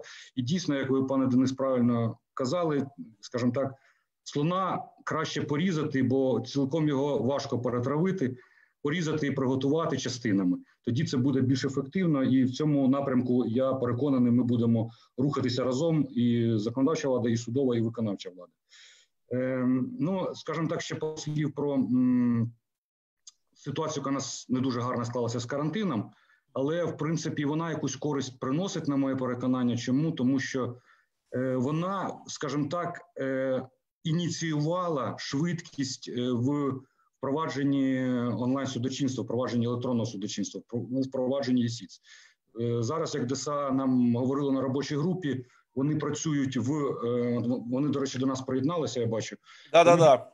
Я зараз надам слово ДСА після вони, вас, Романе. Да. Вони вимушені працювати в турборежимі, і я маю надію, що цей турборежим принесе результати в найближчим часом. І з закінченням карантину е, ми будемо продовжувати ефективно і працювати над впровадженням ЄСІЦ і інших елементів, е, окремих модулів його, інших елементів, які дозволять нам полегшити, скажімо так, е, судочинство і для суддів, і для адвокатів, і для учасників судового процесу. Доступ онлайн до певних процесів, до матеріалів справи знову ж таки, як говорили наші слухачі, і можливість подавати відповідні процесуальні документи, і таке інше. І ви, пан Денис, піднімали знову ж таки питання щодо так званих Е, суддів ботів, як е, якщо не помиляюся, як ви так їх да, да, назвали. Це не я, це студенти-правники підняли питання. Студенти я я до речі, я я навіть про це не, не думав. Це студент-правник підняв питання, який він сказав, що ви тут менше про відеоконференції говорите, вже думаєте про майбутнє. А про... бачите, молоді все таки є е, е, правильний хід е, думок, скажімо так. Тому що коли ми на першому засіданні, коли ми створювали робочу, ну першому засіданні нашої робочої групи, однією з напрямків робочої групи, ну перший пріоритетний звісно, звичайно, ЄСІЦ. А другим, яким яким ми почали обговорювати, але на жаль, через ці події з коронавірусом, з карантином, воно трохи відсунулось. Ми так обговорювали відповідно е, можливість здійснення е, правосуддя за допомогою певних технічних рішень, можливо, навіть без участі судді. Воно в деяких країнах такі інструменти працюють. Їх небагато, але вони приклади цього є. Ну, звичайно, наприклад, ВРП висловило занепокоєння такими е, питаннями і е, закликало обережно до цього ставитися. Ну, хоча б впровадити по елементарним якимось спорам, наприклад, е, ну, так так зване онлайн правосуддя, наприклад, з по спорам про порушення правил дорожнього руху, по можливо по розлученням, яке не потребує там визнання прав що на участь у вихованні дитини або прав на поділ майна. Ну але як якимись кроками, хоч можливо, і маленькими, рухатись в цьому напрямку, і ця ідея також живе. Вона я маю сподівання, буде розвиватися, в тому числі на базі платформи, якою є робоча група при комітеті Верховної Ради. Роман, дякую вам за ваші коментарі. До нас дійсно доєднались ДСА Сергій Чорнолуцький. Дякую, колеги, що доєднались до вас. Сергію, чи можете я ну там не тільки Сергій. О, да, все, включили мікрофон. Ваші коментарі дуже багато говорили сьогодні про ІСІЦ. Практикуючі дісти, практикуючі юристи очікують, да й судді теж очікують впровадження. Скажіть, будь ласка, ну на якій стадії і яка у вас ситуація з приводу цифри діджиталізації судових процесів? Доброго дня, шановні колеги. Приємно доєднатися до вас до цієї розмови. Ми насправді були самого початку. А, Вибачаюсь, тоді я я просто не бачив вас в в рамки. Тоді вибачте, що я сказав, що вас немає. Ні, можливість коментувати нам додали згодом після того, як ви сказали. Тому дякуємо ще раз. Одразу хотів би прокоментувати ситуацію із відеоконференц-зв'язком з програмою EasyCon, про яку мова йшла сьогодні, і про те, що були коментарі в сторону певної монополізації.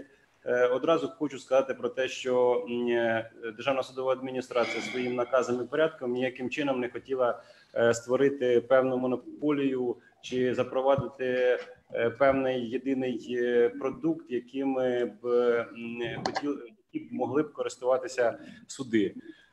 І ну моя позиція і позиція Державної судової адміністрації в тому, що ми ніяк не можемо впливати на вибір судді при виборі тих чи інших засобів, заходів, в тому числі технічні, при здійсненні судочинства, і в тому числі при участі дистанційної участі учасників справи в судовому засіданні. Своїм порядком єдине, що ми затвердили, це порядок використання тієї програми, яку рекомендувала суддям Державна судова адміністрація, оскільки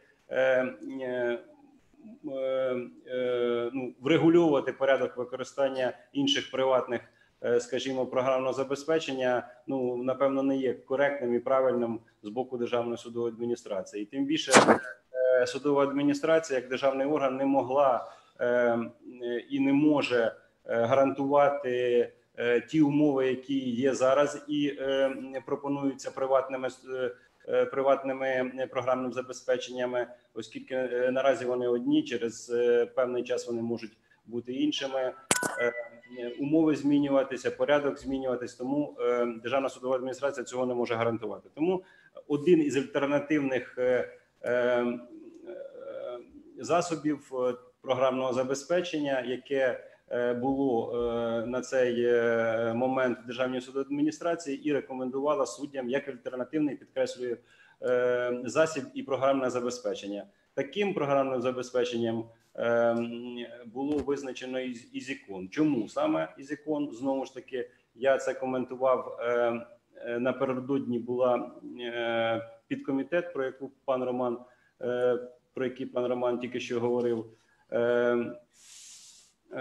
І саме на ньому я також коментував і про альтернативність інших інших засобів і програмного забезпечення, яке може використовувати судді при здійсненні судочинства, і також говорив про те, що якщо наразі державна суд склалось таке враження, що порядок, який затверджений державною судовою адміністрацією, він є якимось одним чи визначає монопольне становище то ми погодилися на робочій групі про те, що ми підготуємо конкретні зміни, які будуть прямо визначати можливість застосування іншого програмного забезпечення. Наразі це такі зміни були вже розроблені з урахуванням пропозицій, в тому числі учасників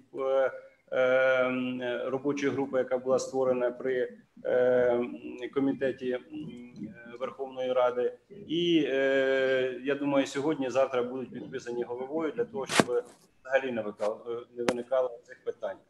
Чому саме ІСІКОН, знову ж таки я коментував на робочій групі, тому що це програмне забезпечення на той момент і наразі було у власності одного з підприємств, який е, знаходиться у сфері управління Державної судової адміністрації, і не потребувало витрат е, на його придбання чи е, доопрацювання. Тому саме і обрано цей відповідний продукт.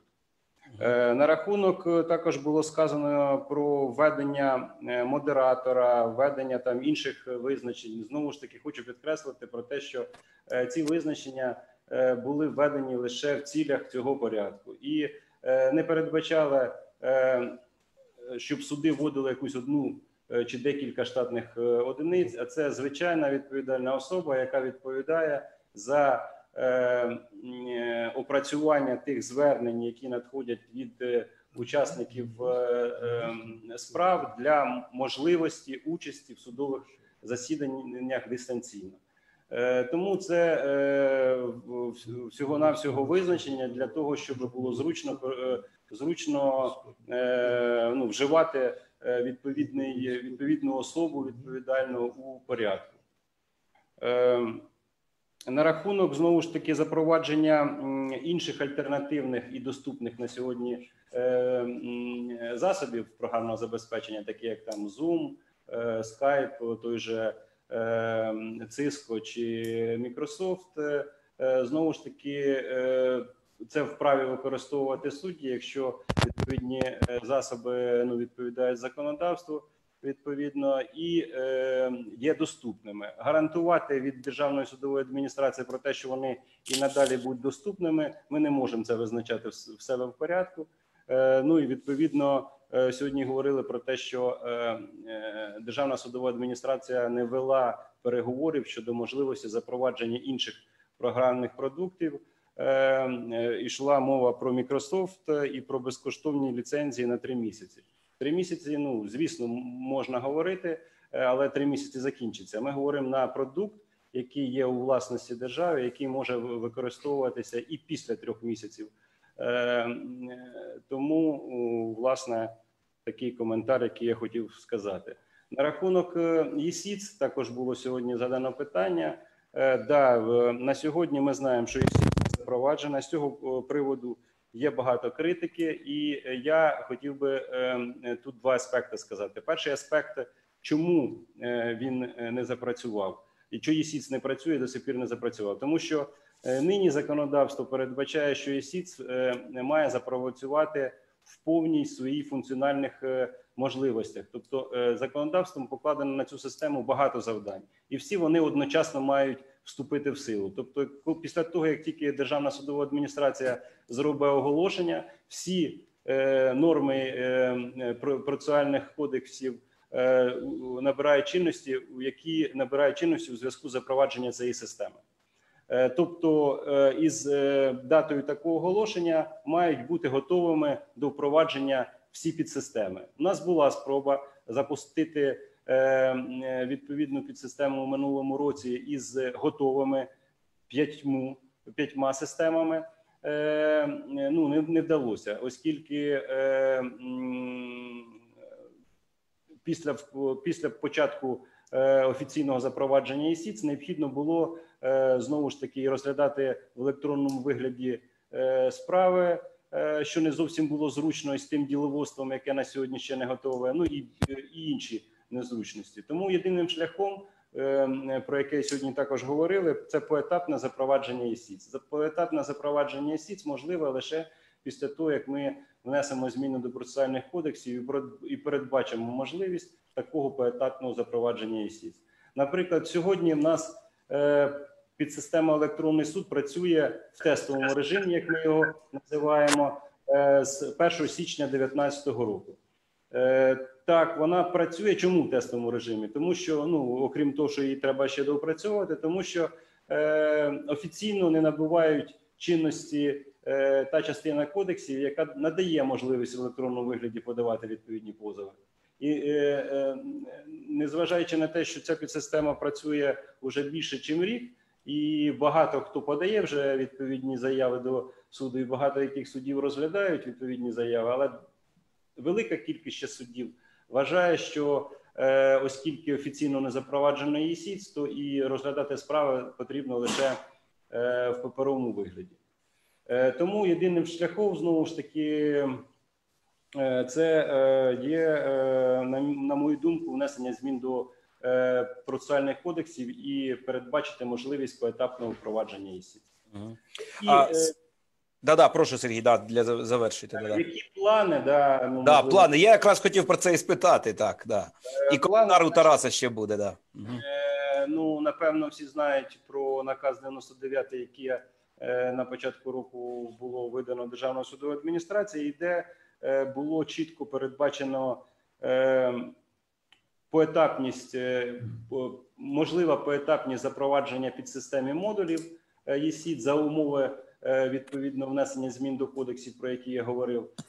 То в цьому році основний пріоритет для державної судової адміністрації він в тому числі був викликаний і підтверджений, в тому числі і цією ситу- ситуацією, яка є в державі з карантином. Це доопрацювання під систему електронний суд, щоб вона повноцінно вже в повному функціоналі, функціоналі запрацювала і запровадити її в промислову експлуатацію. Друге, це е, відеоконференц-зв'язок, який наразі, хоч він і є, е, е, ну працює про EasyCon, на який ми говорили, але знову ж таки ми його запустили у зв'язку з тим, що е, час е, не чекав. Е, Ми е, його запустили. а Зараз ми допрацьовуємо і наші пріоритети допрацювати його інтегрувати з е, електронним е, кабінетом, допрацювати інші функції трансляції, е, чатів і так далі, і запустити його також в промислову експлуатацію. Ну і власне наступним важливим кроком це є запровадження реєстру виконавчих документів. Це, це такі три напрямки, які передбачає одну основних важливих в цьому році для того, щоб запустити і було вже якийсь видно результат від цього ЄСІС, про який всі говорять. Але. Сергій, ну я хочу вам подякувати ну, за те, що є плани. Да? Я не сподіваюся, що плани в ДСА вдасться. Да? Я, роз... я бачу, що ДСА розуміє ситуацію, яка склалася ЦІЦ. Ми ні в якому виход... випадку не хотіли там, не планували центром обговорення зробити і СІЦ. Разом з тим, е, ну, дискусія покаже, що є певні проблеми. З іншої сторони, я бачу, що у вас є чітке бачення, як цю проблему вирішити. Е, Тарас хотів Тарас Та- Тарасенко хотів прокоментувати ваш виступ. А перед тим як Тарас скаже, в мене коротеньке питання. Воно прийшло в чат від колег. Е, Скажіть, будь ласка, чи немає ідей продовжити оцей наказ, який би дозволив дистанційні судові засідання вже після того, як закінчиться карантин? Бо я так розумію, що колеги юристи відчули певні зручності від такого формату. Е, Ну, на жаль, від е, е, Державної судової адміністрації від рішення ДСА не залежить, не, не залежить е, нічого, тому що е, це регулюється виключено законами, і наразі е, законом передбачена така можливість дистанційної участі поза межами суду без запровадження ЄСІД лише на період, період карантину, який визначений Кабінетом міністрів. Угу. Дякую. Ну тоді це питання до народних депутатів. І Тарасе, ви хотіли прокоментувати? Прошу. ще раз уже побачив вас. Ще раз вам доброго дня. Е, Хотів зазначити про те, що е, маю надію, що ДСА в майбутньому буде більш модерувати свої накази з Вищою радою правосуддя, з Верховною Радою України, щоб не було потім таких виправдань, що наказ ДСА насправді мав на увазі не те, що ми написали, що суди мають право використовувати інші системи. Проте в наказі ДСА чітко зазначено, що системою відеозв'язку є така система, і інших е, тлумачень е, наказ ДСА на той момент не надавав. Враховуючи це е, питання до вас, все таки буде щодо створення координаційного центру. В планах ДСА я знаю, що було і відповіді мені надавали. Плани створити координаційний центр щодо ЄСІЦа саме на базі Державної судової адміністрації, і його завданням було б створення саме координування діяльності вже двох державних підприємств. Е, Ваша думка, чи недоцільно все-таки змінити акцент і цей координаційний центр створити в іншій державній структурі? Дякую.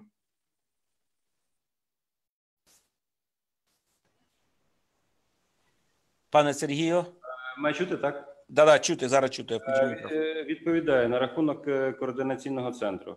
Е, Звісно, що е, координаційний центр, е, який має визначати основні функції, е, інтерфейс, е, зручності для їх користувачів, має бути е, е, створений е, саме користувачами. Тому такий координаційний центр він вже створений при Вищій раді правосуддя. Е, Це по дві робочі групи, які ми е, можемо говорити. Е, е, Перша робоча група це по розробці е, положення про ЄСІЦ, і друга робоча група про е, побудову Саме відповідні робочі групи мають е, визначати, е, який має бути цей функціонал, які має бути ну, напрямки розвитку, які мають бути підсистеми і так далі. Про ту про ту координаційну робочу групу, яку ми говоримо і планували створити, це оперативна або виконавча робоча група, яка має на меті саме впровадження уже тих визначених завдань е, і того функціоналу, яку який має затвердити е, ну, е, робоча група при Вищій раді правосуддя, про яку е, ну на моє переконання, саме ця робоча група має визначати основні напрямки і функціонали вимоги до цієї системи. А е, про ту координаційну групу, про яку при ДСА має створене, це саме виконавча або е, група по впровадженню саме тих рекомендацій, які будуть визначені. Е, Шановні колеги, мені б хотілося вже підійти до наступних питань, бо час нас піджимає. Ми майже в графіку. Е, Зараз б хотілося б перейти до думок практикуючих адвокатів. От з точки зору існуючої системи і останніх змін, які були внесені. І перед тим як дати слово Роману Чумаку, я б хотів би декілька ідей з чату е, озвучити. Ну, перш за все, колеги скаржаться, що суди не дуже йдуть на зустріч в питаннях електронного судочинства. кажуть, що є певний супротив. Там навіть в чатах називають конкретні суди, конкретні випадки. Я не знаю наскільки це ну е, масово, але дійсно, от кажуть, що така є така позиція. Це по перше. По-друге, прозвучало від нашого колеги Ар- Артема Донець з, з, з Харкова. Дуже цікава ідея, як впровадити електронний суд. Е, Це фактично зменшити мито для тих, хто подає документи електронною формою. Тобто, подаєш в електронній формі, е, мито сплачуєш е, менше, подаєш в паперовій, сплачуєш більше. Як на мене, непогана ідея е, прозвучала від Артема. Роман, е, ми проводили Роман Чумак, адвокат міста Харків. Е, Колеги, Роман і Катерина, у вас буде трішки жатий е, час. Е, Я пропоную там е, почати, щоб почав Роман. З приводу е, я знаю, що ти активно використовуєш поточні можливості, в тому числі і СІД. Скажи, будь ласка, наскільки комфортно, наскільки працює? Доброго дня, колеги. Радий щиро всіх вітати. Працює добре. Знаєте, мені нагадує ця дискусія про те, що всі ми маємо по новенькому айфону, а намагаємося в судовій владі, щоб працював Nokia 3310. Ну він там не буде працювати, бо ми всі звикли до комфорту. Е, Дивіться, ситуація нагадує е, так, що взагалі підхід до суду до ніяк не до сервісу. Тобто ми повинні змінити підхід. Суд це перш все сервіс, сервіс для громадян, сервіс для адвокатів і для суддів. Якщо судді некомфортно з вами спілкуватися по відеоконференц-зв'язку, ну тут питання напевно виникає. Да? А ви не думали, що в деяких судах взагалі технічно неможливо це забезпечити? Просто це просто проста відповідь на питання. А взагалі е, є в нас вразливі категорії населення, які не мають доступу до відеоконференції. І взагалі яка різниця? EasyCon, Google Meets і взагалі які інші програми. Якщо вони виконують головну функцію, тобто комунікація, користуємося електронним судом спершу то під модулем, який про який говорила ДСА, це мається на увазі підмодуль для користувачів. З першого дня він функціонує погано, він не є юзабіліті з точки зору загального користувача. Для цього є безліч причин. Передусім, це якість програмного забезпечення. Тобто, якщо, наприклад, у минулому році навіть було е, е, додаток до мобільного, де е, в режимі реального часу надходило повідомлення про те, що по твоїй справі надійшов, надійшов якийсь документ, то зараз цей додаток просто мовчить. Навіть в цій системі не працює повідомлення про те, що надійшов процесуальний документ. Тобто я взагалі не розумію, якщо держава замовила у розробника певної програмне забезпечення, воно спочатку працювало, а потім кудись ділося, чи воно не працює. Тобто для мене, як користувача, взагалі не зрозуміло. Тобто, це виходить так, що на сьогодні воно працює таким чином, що вам треба заходити в конкретну справу і дивитися в цій конкретній справі, чи не з'явився там документ. Ніякого сповіщення взагалі там немає. Знаю, що багато суддів хочуть застосовувати е, найсучасніші засоби і комунікації, і це дуже класно. Будь ласка, ну це ж можна якось е, е, підтримати. А у нас виходить так, що це, це не передбачено, це не наказ. Там якісь судді якогось області взагалі зібрали, сказали, що це Zoom, це взагалі така програма, шкідлива, шкідлива, і що то зборами вирішили, що взагалі не треба її застосовувати. Розумієте, це каже про те, що судді не розуміють, е, багато судді не розуміють, що вони є сервісом. Не можна цю це питання вирішити лише там запроводжуючи із ікон або Zoom. Треба до цього питання підходити комплексно. Комплексно підходити до якості, до стандартів надання послуг суда, судами. Да? Тоді будуть використовуватися кращі практики, кращі суди, кращі адвокати. Адвокати, от повірте, вони готові, хоч сьогодні, вже там працювати в будь-яких найсучасніших системах. Але ж вони не працюють ці системи, розумієте? Ну, вибачте, якщо позов, який там є, на ньому багато є документів, додаток для того, щоб завантажити це в систему. Ну, мені легше е, просто фізично відвести документи в суд, ніж сидіти там, або людині потрібні сидіти дві, е, два дні, щоб завантажити величезну кількість додатків питання величезне в цьому випадку. І е, ви знаєте, я е, вважаю, що потрібно підійти до цього питання більш ґрунтовніше. Не треба там е, зараз міряти, яка програма краща, яка гірша. Треба підійти комплексно. Це від е, будівлі, від засобів комунікації, це від того, яким чином суддя працює, де він знаходиться, як, він користується програмним забезпеченням, де є вода в коридорах, де цієї води нема, де людина з обмеженими можливості може потрапити в судове засідання, а де, вибачте, взагалі вона не може туди потрапити. Це про це якраз суд. Суд про доступність. Зробіть суд доступним. Дякую. Роман. Е, ну дякую за коментар. Дякую за конкретні е, приклади. Зараз хотів би надати слово Катерині. Катя аналізувала законодавство, робила в нас доповіді в рамках АПУ з приводу змін до процесуального законодавства. Кать, прошу твої тези. Дениса, дякую. Да. Я спробую коротко на пальцях пояснити, що відбулося в останні три тижні, тому що дійсно багато ми говорили про ЄСІД. Е, насправді, те, що ЄСІД поки що не запроваджено, це не така велика, ну так би мовити, не характеризує Україну як країну, яка ну не змогла там їй не вдалося. Насправді весь світ фактично в такому ж стані. Про це трохи пізніше. Значить, що відбулося? 30 березня було ухвалено закон, да, його повна назва про внесення змін до деяких актів у зв'язку з, з виникненням коронавірусної хвороби. І цим законом е, я буду говорити виключно про е, ті зміни, які стосувалися електронного правосуддя, було дозволено сторонам брати участь у судових засіданнях з використанням власних технічних засобів. Цей закон е, вніс зміни у три кодекси: у Кодекс адміністративного судочинства, у ЦПК і у ГПК. Тобто ці зміни не стосувалися е, правосуддя в частині кодексу про адміністративні правопорушення і КПК. Буквально коротко я скажу, що це критикується багатьма адвокатами. Е, мені це дивно теж, тому що в плані адміністративних правопорушень ведуться відеоконференції ще з 2016 року і спокійно виносяться рішення. Е, ну, в будь-якому випадку ситуація така на сьогоднішній день є.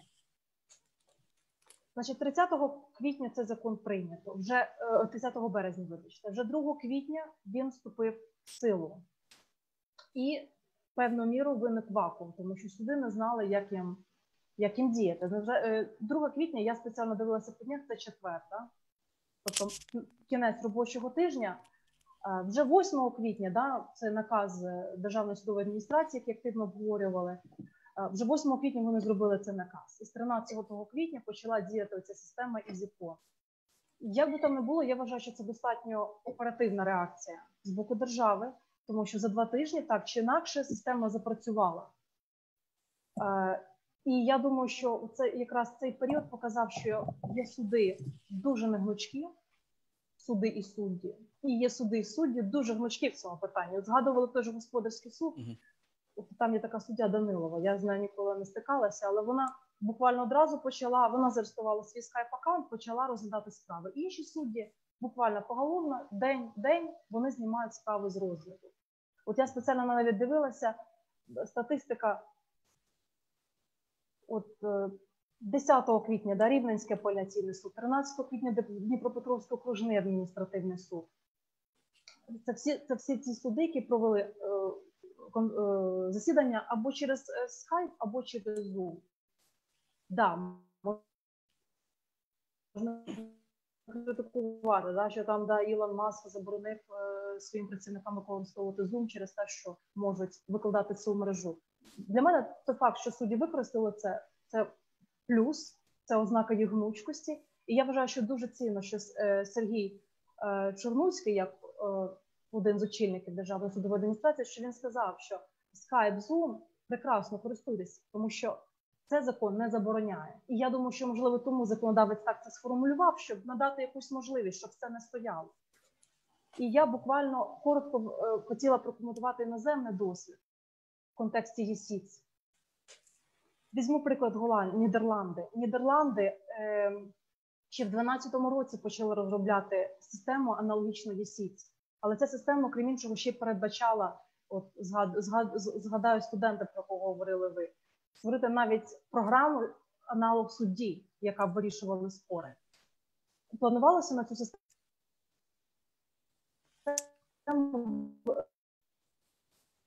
Я думаю, що Е, су- це було витрачено 220 мільйонів євро. Було вит- Е, Катю, в тебе трішки зв'язок е, скачить. Е, Да-да. а за- зараз я Зараз нормально. 220 ти- мільйонів євро. 220 мільйонів євро, 5% виконаних робіт. І в 2018 році проєкт було заморожено. Це Нідерланди. Це шанована, шанована юрисдикція. Юрисдикція, е, фахівці якої їздили до нас, допомагали нам робити не один закон, в тому числі закон про міжнародне приватне право. От приклад їх ефективності.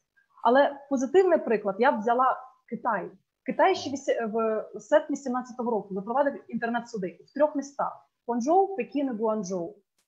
Це е, суди, які передбачають виключно онлайн.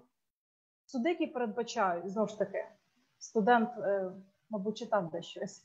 Це студ... е, це е, справи, які, е, які частину з яких розглядає живий суддя, а частину з яких розглядає штучний інтелект. І у деяких випадках штучний інтелект може направляти справу живому судді. Оскільки в Китаї 850 мільйонів інтернет-користувачів, там дуже велика необхідність. І ця система створена. На сьогоднішній день розглянуто більше ніж 100 тисяч справ, виключно онлайн. І е, треба сказати, це позитивний приклад. І Китай наразі Верховний суд Китаю зробив е, у них, ви знаєте, ну західні технології вони не дуже приймають. У них є WeChat, да, така платформа. І в рамках цієї платформи у них є спеціальний такий додаток е, доступу для до суду. І Верховний суд офіційно схвалив, каже, що зараз на період карантину нехай всі користуються цим додатком, щоб тільки не зупинялося правосуддя. Але бачите, як китайці підійшли до цього ще в 2017 році. І я думаю, якраз якщо підходити з точки зору е, практичних міркувань, ну нехай це буде поки не ідеально. Нехай поки судді користуються скайпом і зумом, але це буде більше доступ. І я погоджуюся з тим колегою, який е, казав про те, що має бути можливість сканувати документи, зробити якусь систему оптимальну. Якщо немає грошей на скан, заради Бога, впровадьте судовий збір на 20 гривень протягом півроку. Я думаю, що всі суди зможуть закупити. Е, Я сподіваюся, що є депутати, що законодавець дослухається і він розширить ці зміни поза періодом карантину. І це буде нехай коронавірусна інфекція дійсно стане тим волшебним пінком по-русски, який дійсно дасть змогу впровадити цей електронний суд вже насправді. Катя, е, дуже е, дякую, що показала там сильні слабкі сторони і такий ґрунтований аналіз, в тому числі з іностран з іноземним досвідом. Кать, ми твій досвід обов'язково зараз е, сформуємо, систематизуємо і передамо всі робочі групи, оскільки вони всі з нами на зв'язку. Так що від імені Асоціації правників України в тебе вже є громадське навантаження, все це систематизувати і прийняти активну участь від імені АПУ в роботі в роботі всіх всіх рад, які зараз працюють. Уважаемые коллеги, я сейчас перейду на русский язык, поскольку хочу представить э, нашего гостя. Да. Возможно, нам надо было начать наш э, разговор именно с, эм, с участия э, Нериуса Мейлутис. Ваша честь, я старался не ошибиться в вашем имени. Судья, глава регионального суда Каунаса и член судебной, судебного совета Республика Литва. Ваша честь, мы очень рады вас видеть у нас в гостях. От имени Ассоциации юристов приветствуем вас. У нас тут была очень такая э, интересная, глубокая дискуссия, в которой принимают участие и представители Высшего Совета правосудия, судебной администрации, народные депутаты, практикующие юристы, судья Верховного суда, европейские эксперты. У нас сейчас на связи с нами э, больше 150 юристов по всей стране, активная дискуссия в чате. И я знаю, что вы хотите нам рассказать об опыте Литвы в части применения.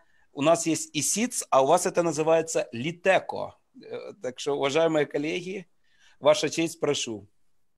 Добрый день. Мне очень приятно, что меня пригласили на этот семинар, на этот вебинар. Э, спасибо проекту «Право Justice», спасибо лидеру Довидусу, спасибо Полине.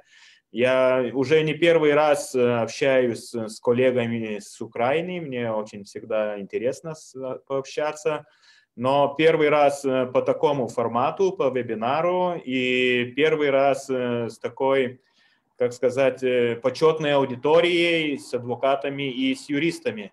Я всегда говорил, и всегда говорил, и не только говорил, и писал в своих отчетах, что надо побольше говорить с адвокатами, потому что они это, это сила, которая поможет всей судебной системе.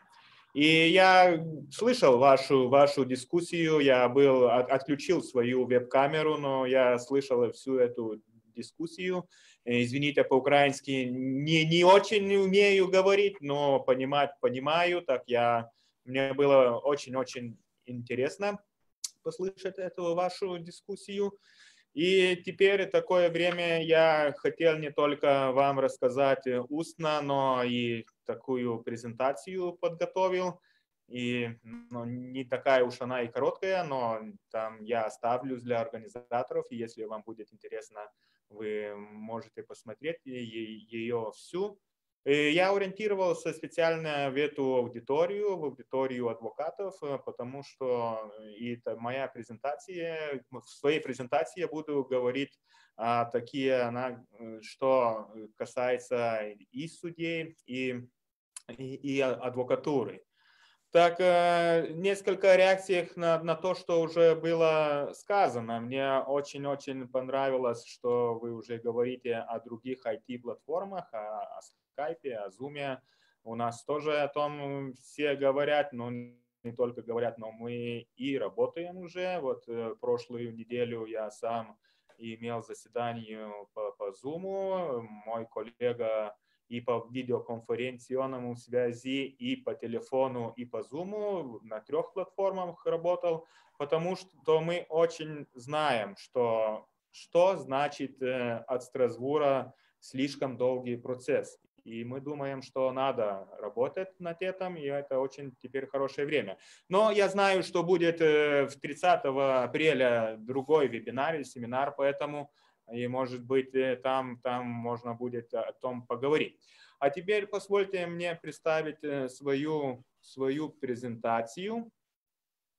Сейчас я вам покажу. Я надеюсь, вы видите ее. Да-да-да, да, она у нас вышла на экран, и мы видим ее. Это очень хорошо.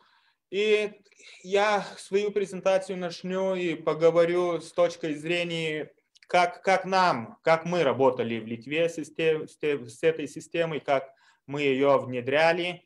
И я сам как судья, я уже судьей работаю 16 год, и как нам, как мне лично с этой системой было, как я с ней познакомился, и какие плюсы, какие минусы от этой системы. Это можем мы очень много говорить, но я хотел бы самое, сказать самое главное. Эта система полезная. Полезная не только для судей, не только для судов. Она очень, как бы было ни странно, полезная адвокатам. И мы очень имеем большую-большую поддержку от э, корпуса адвокатов, от юристов, от юристов. И теперь, когда мы говорим еще о, уже о новых платформах, тоже очень большая поддержка от адвокатуры, потому я и, как и сказал в самом начале, мне очень важно, чтобы э, адвокаты тоже участвовали в этом процессе, и они, потому что они свободные люди, они всегда имеют очень много информации, и они всегда могут подсоединиться и сказать, что там хорошо, что нет. Так, э, так э, вернемся к, к моей презентации. Литеко. Мы с Литеко работаем с 2004 э, года, так уже 16 год. В 2004 мы внедрили ее, с 2005 года мы начали работать, 2015 года Э, уже так вторая, называемая бета-версия. И в следующем году мы будем уже иметь э, обновленную Liteco 2. Но, как и в ваших дискуссиях, я тоже прочитал э, в дискуссиях в чате, очень там хорошо написано. Мы, когда думали о той, о той Liteco 2 в 2021 году, мы не знали, что будет коронавирус, не будет карантин, и не будет такая потребность. Так уже я думаю, что не, на, не надо бы нам создать еще новейшую версию. Когда мы начали в 2005 году, так мы чувствовали себя очень продвинутыми и думали, что наша система очень-очень там хорошая. Ну, сравняя с другими странами, которые теперь начали, как и вот говорила коллега, странах Азии, о Китае. Я сам говорил с китайцами из Шанхая, они были, они приехали в Каунас, и там э, мы долго говорили об их информационных системах, об системах э, Казахстана, например. Там они очень пошли э, очень, очень, очень далеко теперь от Европы. Но я думаю, что наша система тоже хорошая, мы можем с ней работать, и там, как, как говорится, больших минусов я в ней не вижу. Так, э, в общем, это главный инструмент Литеко. Э, в той же самой Литеко мы имеем и все записи судебных заседаний. Это система Фемида, которая разработана в Украине, и мы используем ее. Ее потом система электронного, документа, э, электронного документа оборота. Это портал электронных услуг литовских судов это то, о чем я говорил, э, э, самые, как говорятся, главные пользователи – это адвокаты, и они очень там благодарны нам за то, что они имеют возможность не только подавать, прочитать, но и прослушивать э, звуковые записи и, и увидеть все документы, которые есть в деле. Э, информационная система досудебное расследование, она тоже интегрированная в нашу систему. На, ну и дистанционное судебное заседание с 2015 года тоже мы имеем и записываем все это в систему Литеку. Как я и сказал, другие IT-платформы, мы работаем над этим теперь. И наш парламент теперь э, в заседании рассматривает наши процессуальные кодексы но мы уже, судьи, формируем практику и в первой инстанции, и во второй инстанции, в апелляционном суде, где я работаю, тоже работаем с этими платформами. Э, какие функции у нас Литеко самые главные? Я думаю, какие самые главные, и буду о них, о них говорить. Это электронное автоматическое случайное распределение дел. Это было очень важно нам, потому что было много, много очень жалоб, а почему это дело пошло к этому судью и, или другому судью, а кто это та, такое решение сделал. После этого у нас жалоб не осталось, и потом я вам покажу, мы не только это электронное распределение дел, но мы дел, сделали публично и все эти протоколы. И каждый, каждый, каждый посетитель суда, не только посетитель суда, каждый гражданин может посмотреть, э, кому и почему это дело э, пришло. Э, другие функции литеку, как я сказал, хранение аудиозаписей, сбор управления хранения информации и документов по каждому делу в электронном виде, в централизованной базе данных. Мы это в свое время это очень гордились, потому что я могу дать живой пример. Э, когда, когда мы хотели собрать данные, данные со всех европейских стран, потому что я уже участвую в VNCJ, это европейский нетворк э, этих судебных э, советов. И, например, это был разговор с Бельгией, и они там имеют 10 систем, и каждая отдельная. Эм, потом вся статистическая информация и поиск документ, практики и все такое другое. И знаю, вы тоже это имеете. Это архитектура Литеки, это можно только видеть, сколько всякого там есть. Но не будем об этом говорить, потому что нет времени. Э, вот я хотел вам показать э, то, что э, хотела, хотели наши граждане. Хотели тоже адвокаты, потому что адвокаты тоже писали много жалоб потому что они подозревали, что, может быть, какие-то дела подходят только в этому и не к другому судью. Так вот, вы видите этот линк, этот линк, я думаю, активный есть, и, и можете вы попробовать и сразу перейдете на этот публичный, э, публичный поиск и показывание Э, всех протоколах во всех судах, не только в первой, но и апелляционной инстанции, но даже и в Верховном суде. Вы можете посмотреть, э, как система распределяет дело. Что я говорил тоже об интеграции между Литеку информационной системой адвокатов. Мы имеем интеграцию между этими системами, и это автоматически происходит э, обмен данных э, о на имя адвокатов и данные о занятности, отпусках и трудоспособности. И они, эти данные могут быть введены как и самими адвокатами, так и судами.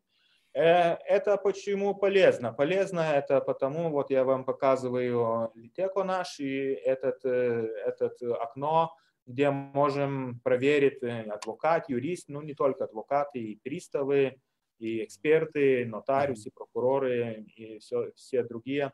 Можем посмотреть, э, и когда назначают судьи э, заседание, они может посмотреть, занято или не занято у адвоката, не надо звониться, не надо писать и не надо отложить э, заседание, потому что там адвокат э, в другой заседании, и он или он в отдыхе.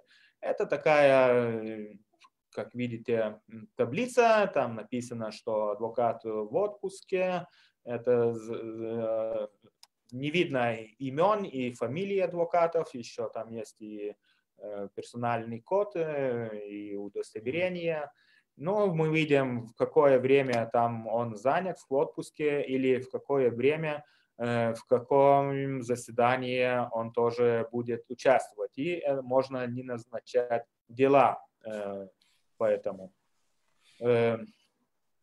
Теперь еще коротко хочу поговорить о этом нашем электронном суде. Тоже этот link i.teismas.lt. Это можно тоже посмотреть, подсоединиться через этот э, линк э, не только участникам э, дел, но и адвокатам. И, и здесь можно прослушать запись судебных заседаний, просмотреть электронное дело в дистанционном с дома, например. И это мы имеем с 2013 года. Мы это имеем теперь в гражданских и в гражданских, административных, это в административных делах и в делах об административных правонарушениях. И как говорят коллеги-адвокаты, это очень удобно, потому что ты отдыхаешь или, например, на рыбалке, если не надо тебе ехать в суд, не надо просить, чтобы там прислал тебе кто-нибудь из судебной администрации какие-то документы, какие-то бумаги, все это можно сделать. Как мы думали, чтобы буду откровенен, сначала не было это очень популярно, но мы какие делали шаги, чтобы оно стало э, популярное. Э, впервые мы в законе э, установили лица, которые должны использовать, не имеют права, а они должны использоваться этой системой. Ну и там попали все, все государственные учреждения, прокуроры, адвокаты, приставы, нотариусы, администраторы банкротов, и у них уже нет выбора, они должны по закону здесь э, подавать все документы и получать э, все документы от суда э, по этому электронном формате. Другое, что мы сделали, мы тоже в законе установили, что эту судеб, судебный сбор пониже. Э, судебный сбор, если ты пользуешься, пользуешься этой э, системой, ты платишь на одну четверть э, поменьше судебного сбора. И что еще мы предусмотрели? Мы предусмотрели, что мы, как судебный совет, тоже имели возможность работать над, над этой системой и сами принять решения, не только парламент. Ну, вы знаете, что в парламенте, во всех парламентах, во всех странах, они там имеют очень много работы. Так мы подумали, чтобы законом установили, что мы, как судебный совет, могли устанавливать, э, например, категории дел, в которых только можно Э, работать в этом электронном формате. И мы так, э, как говорится по-английски, step by step, by step э, нашли с гражданских дел, потом дела по административные дела в этих специализированных судах, потом дела по административных правонарушениях и тоже теперь уголовные дела. Не все уголовные дела, потому что, буду откровенен, от наших судей тоже была такая резистенция, так мы нашли самых легких, с суммарных процессов, с, э, с уголовного указа и, и до, до, следственной, до следственной стадии, но мы тоже теперь идем шаг, шаг за шагом в то, чтобы все дела были в электронном формате. Э, как можно подсоединиться этой системой? Есть классифицированный электронный подпись через электронный, бан, электронный банкинг. Э, у нас удостоверение личности тоже с микрочипсом, можно и с этим удостоверением. И тоже суд может э, прислать данные, чтобы подключиться мог бы кто хотел. И есть тоже возможность, чтобы каждый, кто пришел в суд, Э, участник э, дел может, у нас есть компьютер, или может публично пересмотреть или переслушать э, это заседание. Так, это детали, как можно подать эти все документы и получить. Есть формы, за, за, за, заполнять шаблоны. Знаю, что в Украине тоже по этой тоже линии идут. И то же, что мы сделали, и что я слышал, э, когда я говорил с судьями, э, судьи, и не только судьи, э, есть всякие вопросы. Ну, и знаю, что была в Украине эта горячая линия, у нас тоже сначала было это горячая линия, но было настолько много звонков, что она ну, не могла работать. Очень много всякого было. Так, мы сделали очень много роликов, как заполнять, как, как это, чтобы люди вживо по, по, по, по, по этому интернету подключались и увидели, как это делается. И думаем, что это нам помогло уменьшить эти, эти звонки, эти горячие линии. И теперь как бы и все ясно. Так это тоже в системе видно. Статистика такая, чтобы показать у нас, э, э, что касается адвокатов, я подчеркнул, это 81% всех практикующих адвокатов страны, они подключались э, в этой системе электронного суда и пользуются ей.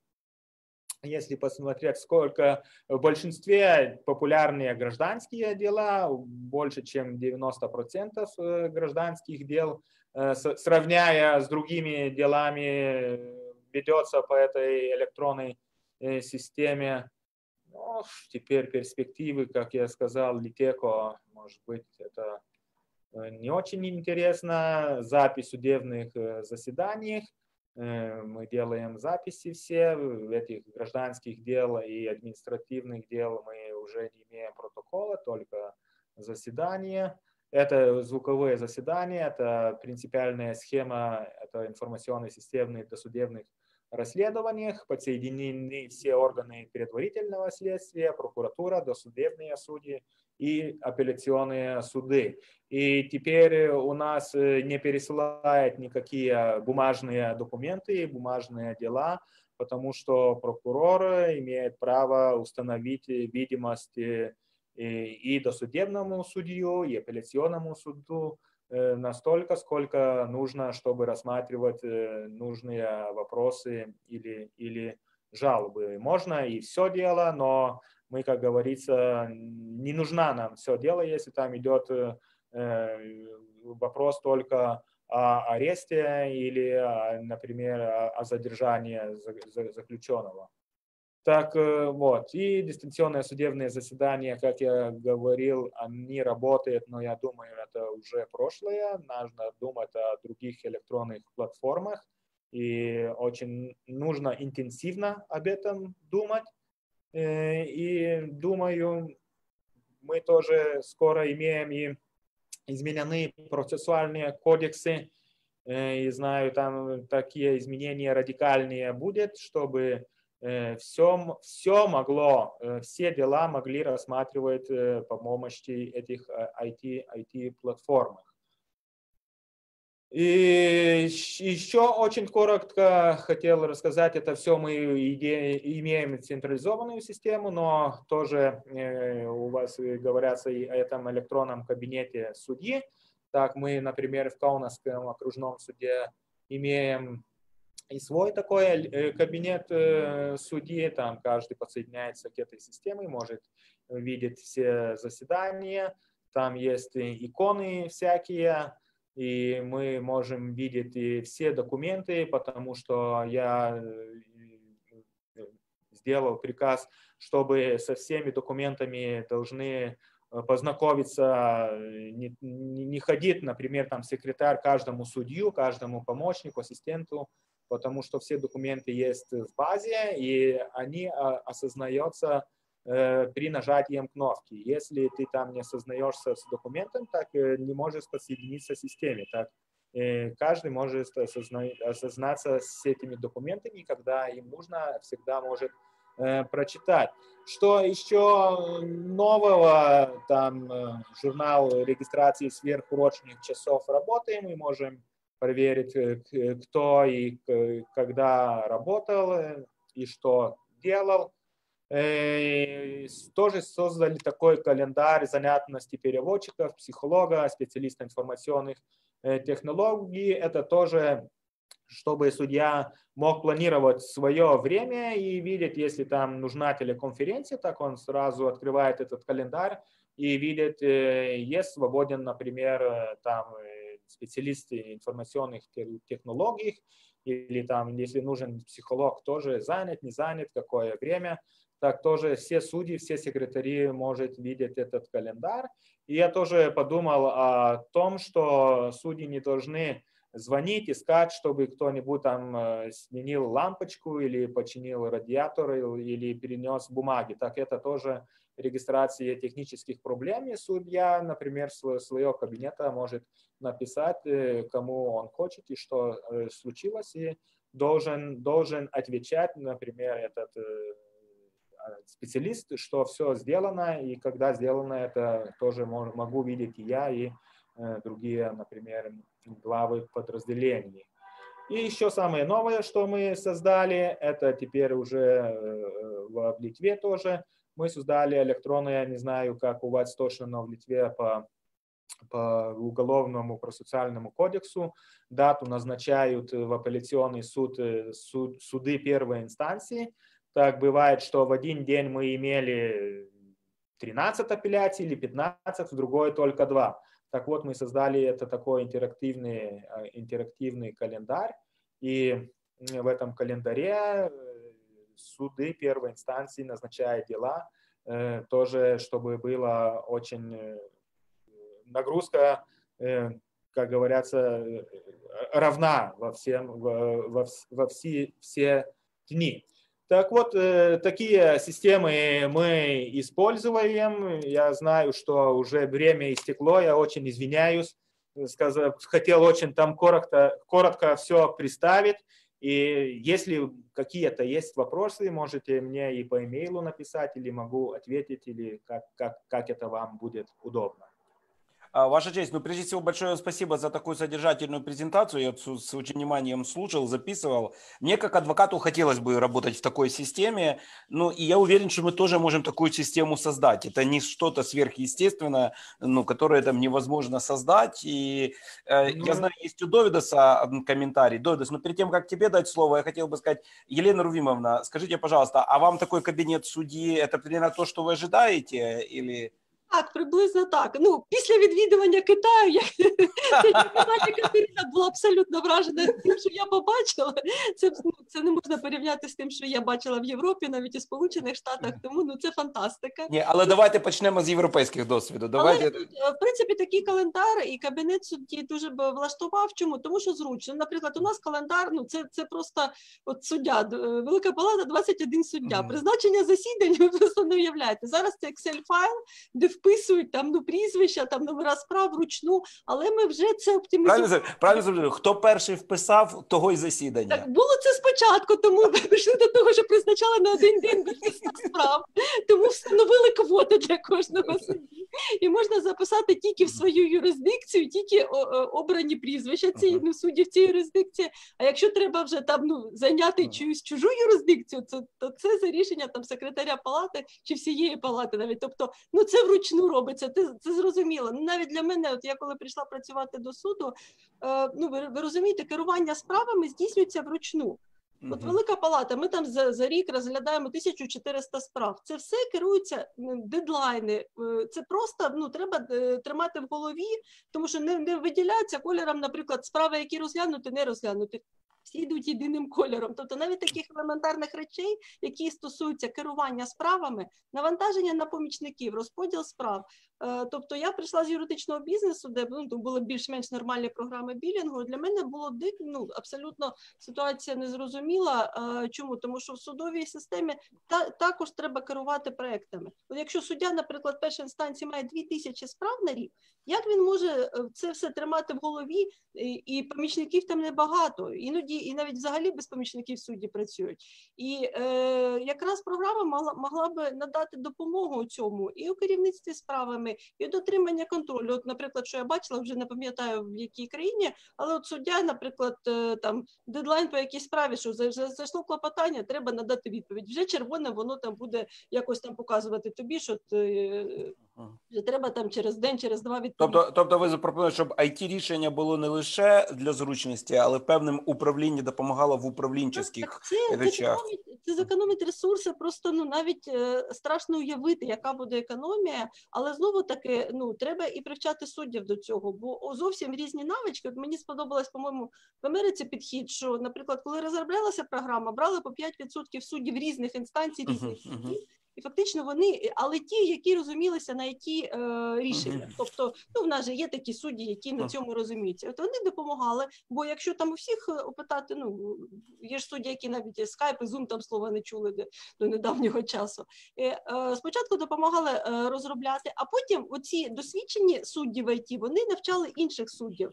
Тому що сказали, що якщо будуть приходити IT е, працівники навчати, ну це не буде ефективно, буде тому що судді не будуть сприймати це. А коли колеги показують, от дивись, я це е, там вмію робити і навчу тебе. І так це передається. Це було ну і відео знімалося. Це для мене дуже ефективний підхід. Тобто, колега колезі швидше і краще, ефективніше пояснить, як застосовувати певну програму, бо стикатися з тими самими проблемами. Ну, Тому от, е, це, це дуже дуже важливо. Ну от кабінет судді це моя мрія. Можна- Дякую, дякую, ваша честь. Я только очень, очень Да, да, несколько, слов э, о, о, о ESIT. Я, ну, я не могу считать себя профессионалом вашей системы ESIT, но я знаю ее, я много говорил о ней с вашими судьями, и я думаю, что эта система очень хорошая, и я думаю, э, что главное, чтобы не, не боялись ни судьи, ни адвокаты пользоваться ей. А там функциональностей очень много, и я думаю, что не надо бояться, надо работать. Такая моя главная заметка была. бы. Спасибо, ваша честь. Довидас, у тебя был комментарий, прошу. Да, первый, первый комментарий по поводу Китая. Э, Сравнивать европейские суды, европейские судебные системы или американскую, или западную с китайской, это неадекватно, потому что цели судов другие. В Китае не существует принцип независимого суда. В Китае не существует а, принцип процессуальной справедливости, равенства сторон и, и, скажем так, состязательности, как а, пути к истине. Там не существует, не существует, иначе говоря, разные ограничения, можно мы их назовем так, или принципы, которые которые существуют в Европе и в Америке. Поэтому роль суда в Китае не та, как, э, как и в Украине. И в конце концов разделение властей в Китае тоже не существует. И, соответственно, роль суда – это помочь обществу достичь а, мира, а не и- и являться настоящей полноценной властью, как в других странах. Поэтому я бы к этому сравнению бы шел, и оно действительно важно в том плане, что нужно стремиться к большей эффективности. Но интеллектуальная, скажем так, э, загруженность э, китайских судов никогда не, не была и не будет такой, как э, в Европе, включая Украине. Поэтому я думаю, нам нужно сжиться с тем, что правая система у вас будет сложнее. Это раз, что я хотел сказать. И в этом есть и плюсы определенные. А что касается литовского примера, о котором говорил Нерюс, я думаю, две вещи очень важны, принципиальные, где Украина еще а, должна искать, я бы сказал, продвижение подходов. И здесь нужно говорить про принципы. И один принцип, первый, который в Литве уже существенно в более высоком уровне имплементирован, это прозрачность. И это, конечно, как пример прозрачности, это, например, возможность любой стране проверить, как автоматически назначаются дела. То, что Нериус говорил.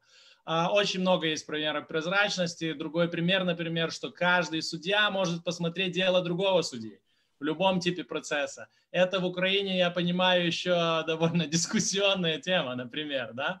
И а, у нас, как бы, так как у северного государства, не только европейского, но особенно я бы отметил здесь менталитет на северного государства, всегда был менее нервозный подход к прозрачности, к тому, что информация движется, к тому, что чем больше информации, тем лучше, и что неизбежно много информации иногда создает и сложности, и информационный хаос, и риск критики и так далее. Но мы как-то, как северное общество, культурно, наверное, с этим э, лучше сживаемся. Поэтому Украине нужно тоже будет выбрать, я думаю, в контексте дискуссии про электронный суд, электронное правительство, сколько вам нужно прозрачности для того, чтобы культурно, культурные требования общества, правовые, социально-экономические требования общества были бы адекватны. И, конечно, электронный суд, электронное правительство дает нереальные возможности повысить прозрачность. Но сколько вы ее дадите, будет зависеть от вашей культуры. Кстати, Китай и прозрачность – это два слова, которые в одном предложении вообще не встречаются. Хотя электронная эффективность у них очень высокая, прозрачности ноль.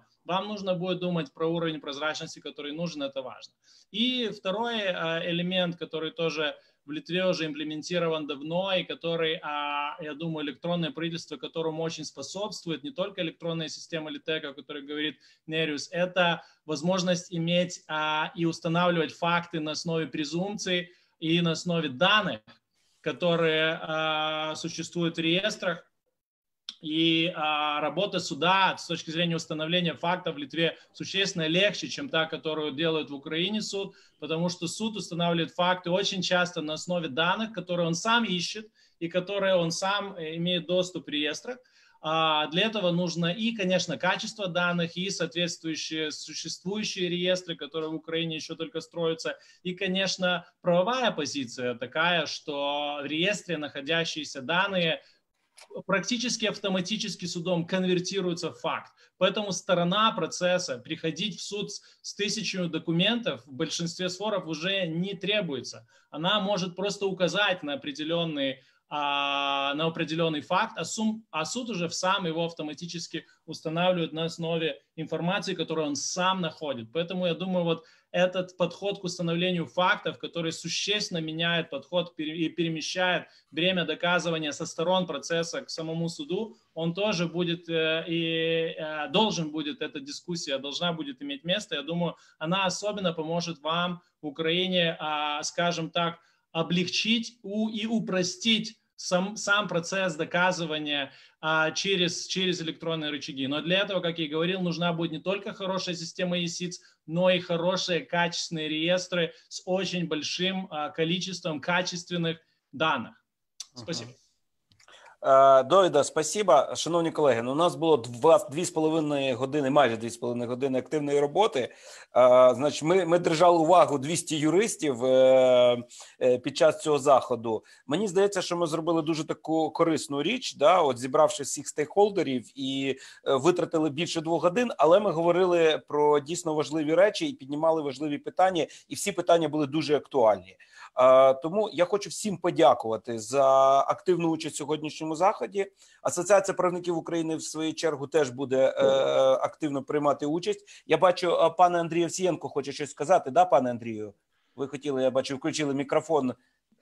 Я хотів е, поділитися своїм враженням від цього вебінару. Да, да, да, прошу, ми да. за дві години отримали цілу купу нових ідей, бачень, е, доволі конструктивних. Я хочу сказати, що взагалі, чому ми маємо цю проблему з ЄСІЦ і з е, електронним судочинством таку тривалу проблему? Ну насамперед, мабуть, треба повернутися десь частково до історії прийняття закону, який передбачив функціонування цього ЄСІЦ. І мене виникає просте одне запитання: а приймаючи такого роду закон, невже не було прораховано технічну можливість, технічну спроможність е, так забезпечити створення і впровадження цієї системи? Ну, мабуть, ми зараз намагаємося так похабцем знайти вихід із ситуації, яка вже тягнеться не один і не два роки. А забувши вже, мабуть, про корінь цієї проблеми, то аби не повторювати цих помилок, я вважаю, дуже корисно буде, що долучилися Верховна Рада і активні депутати з Верховної Ради з комітету з питань правової політики. Я думаю, що а, такі консолідовані зусилля і чітка координація цих зусиль а, допоможе зрушити це з ну не з мертвого місця з мертвої точки, а допоможе зрушити цей процес і зробити його більш динамічним. Безумовно, адвокатська спільнота є дуже важливим учасником обговорення і, взагалі, тестування цієї системи. Я чую активних ваших колег, які намагаються знайти ті проблеми, які є, і знайти ну, пошук шляху вирішення цих проблем. Небайдужість наша з вами. Вона я я переконаний, що допоможе це питання зробити таким же як там осязаємим в якійсь розумній перспективі і в баченні. Так я думаю, що критикувати найлегше, але долучитися до створення чогось, оце дійсно є таким гарним проявом того, наскільки ти компетентний і спроможний запропонувати і підтримати його впровадження. я хочу подякувати всім без виключення учасникам, е, спікерам, е, е, особам, які долучилися на рівні експертної підтримки. Це є дуже важливо обговорювати. А ще важливіше, щоб з кожної такої розмови було те розумне зерно, яке по, чуть-чуть, по чуть-чуть і наповнювало процес реальними діями, реальними здобутками. Е, Дякую, е, пане Андрію. Е, Ну там асоціація точно буде активно в цьому питанні, оскільки ми зацікавлені в електронному суді як практикуючі юристи. Я дуже хотів би подякувати колегам народним депутатам. Ну скажу відверто, що колеги самі побачили, що ми проводимо такий захід. Постукали, сказали, ми хочемо приймати участь. Нам було дуже приємно побачити таку таку ініціативу від парламентарів. Це свідчить про ну щире бажання дійсно впровадити ці зміни. Ну, шановні колеги, то будемо буду вже казати всім е, дякувати і до і до побачення. Ще раз хочу подякувати за ваш час, за вашу участь. Те, що ви дві дві з половиною години були з нами. Е, Учасникам, які дивилися наш вебінар, Тарас, щось хотіли прокоментувати. Включили мікрофон, так? Я всім хотів подякувати. А, подя- Так, і дійсно підтвердити, що кожна, кожна така зустріч приносить нові ідеї. Тому ну, маю бу- надію, що ми їх впровадимо. Да, але от будемо будемо е, рухатися за словами голови Вищої ради правосуддя. Е, треба їх впровадити. Да, гарні ідеї, але впровадження є дуже важливим. Тим більше ми бачили прекрасний досвід з, з Литви. Ще раз всім вдячний. До нових зустрічей і впевнений, що результати сьогоднішнього обговорення не залишаться просто обговоренням. Всього найкращого. Дякую.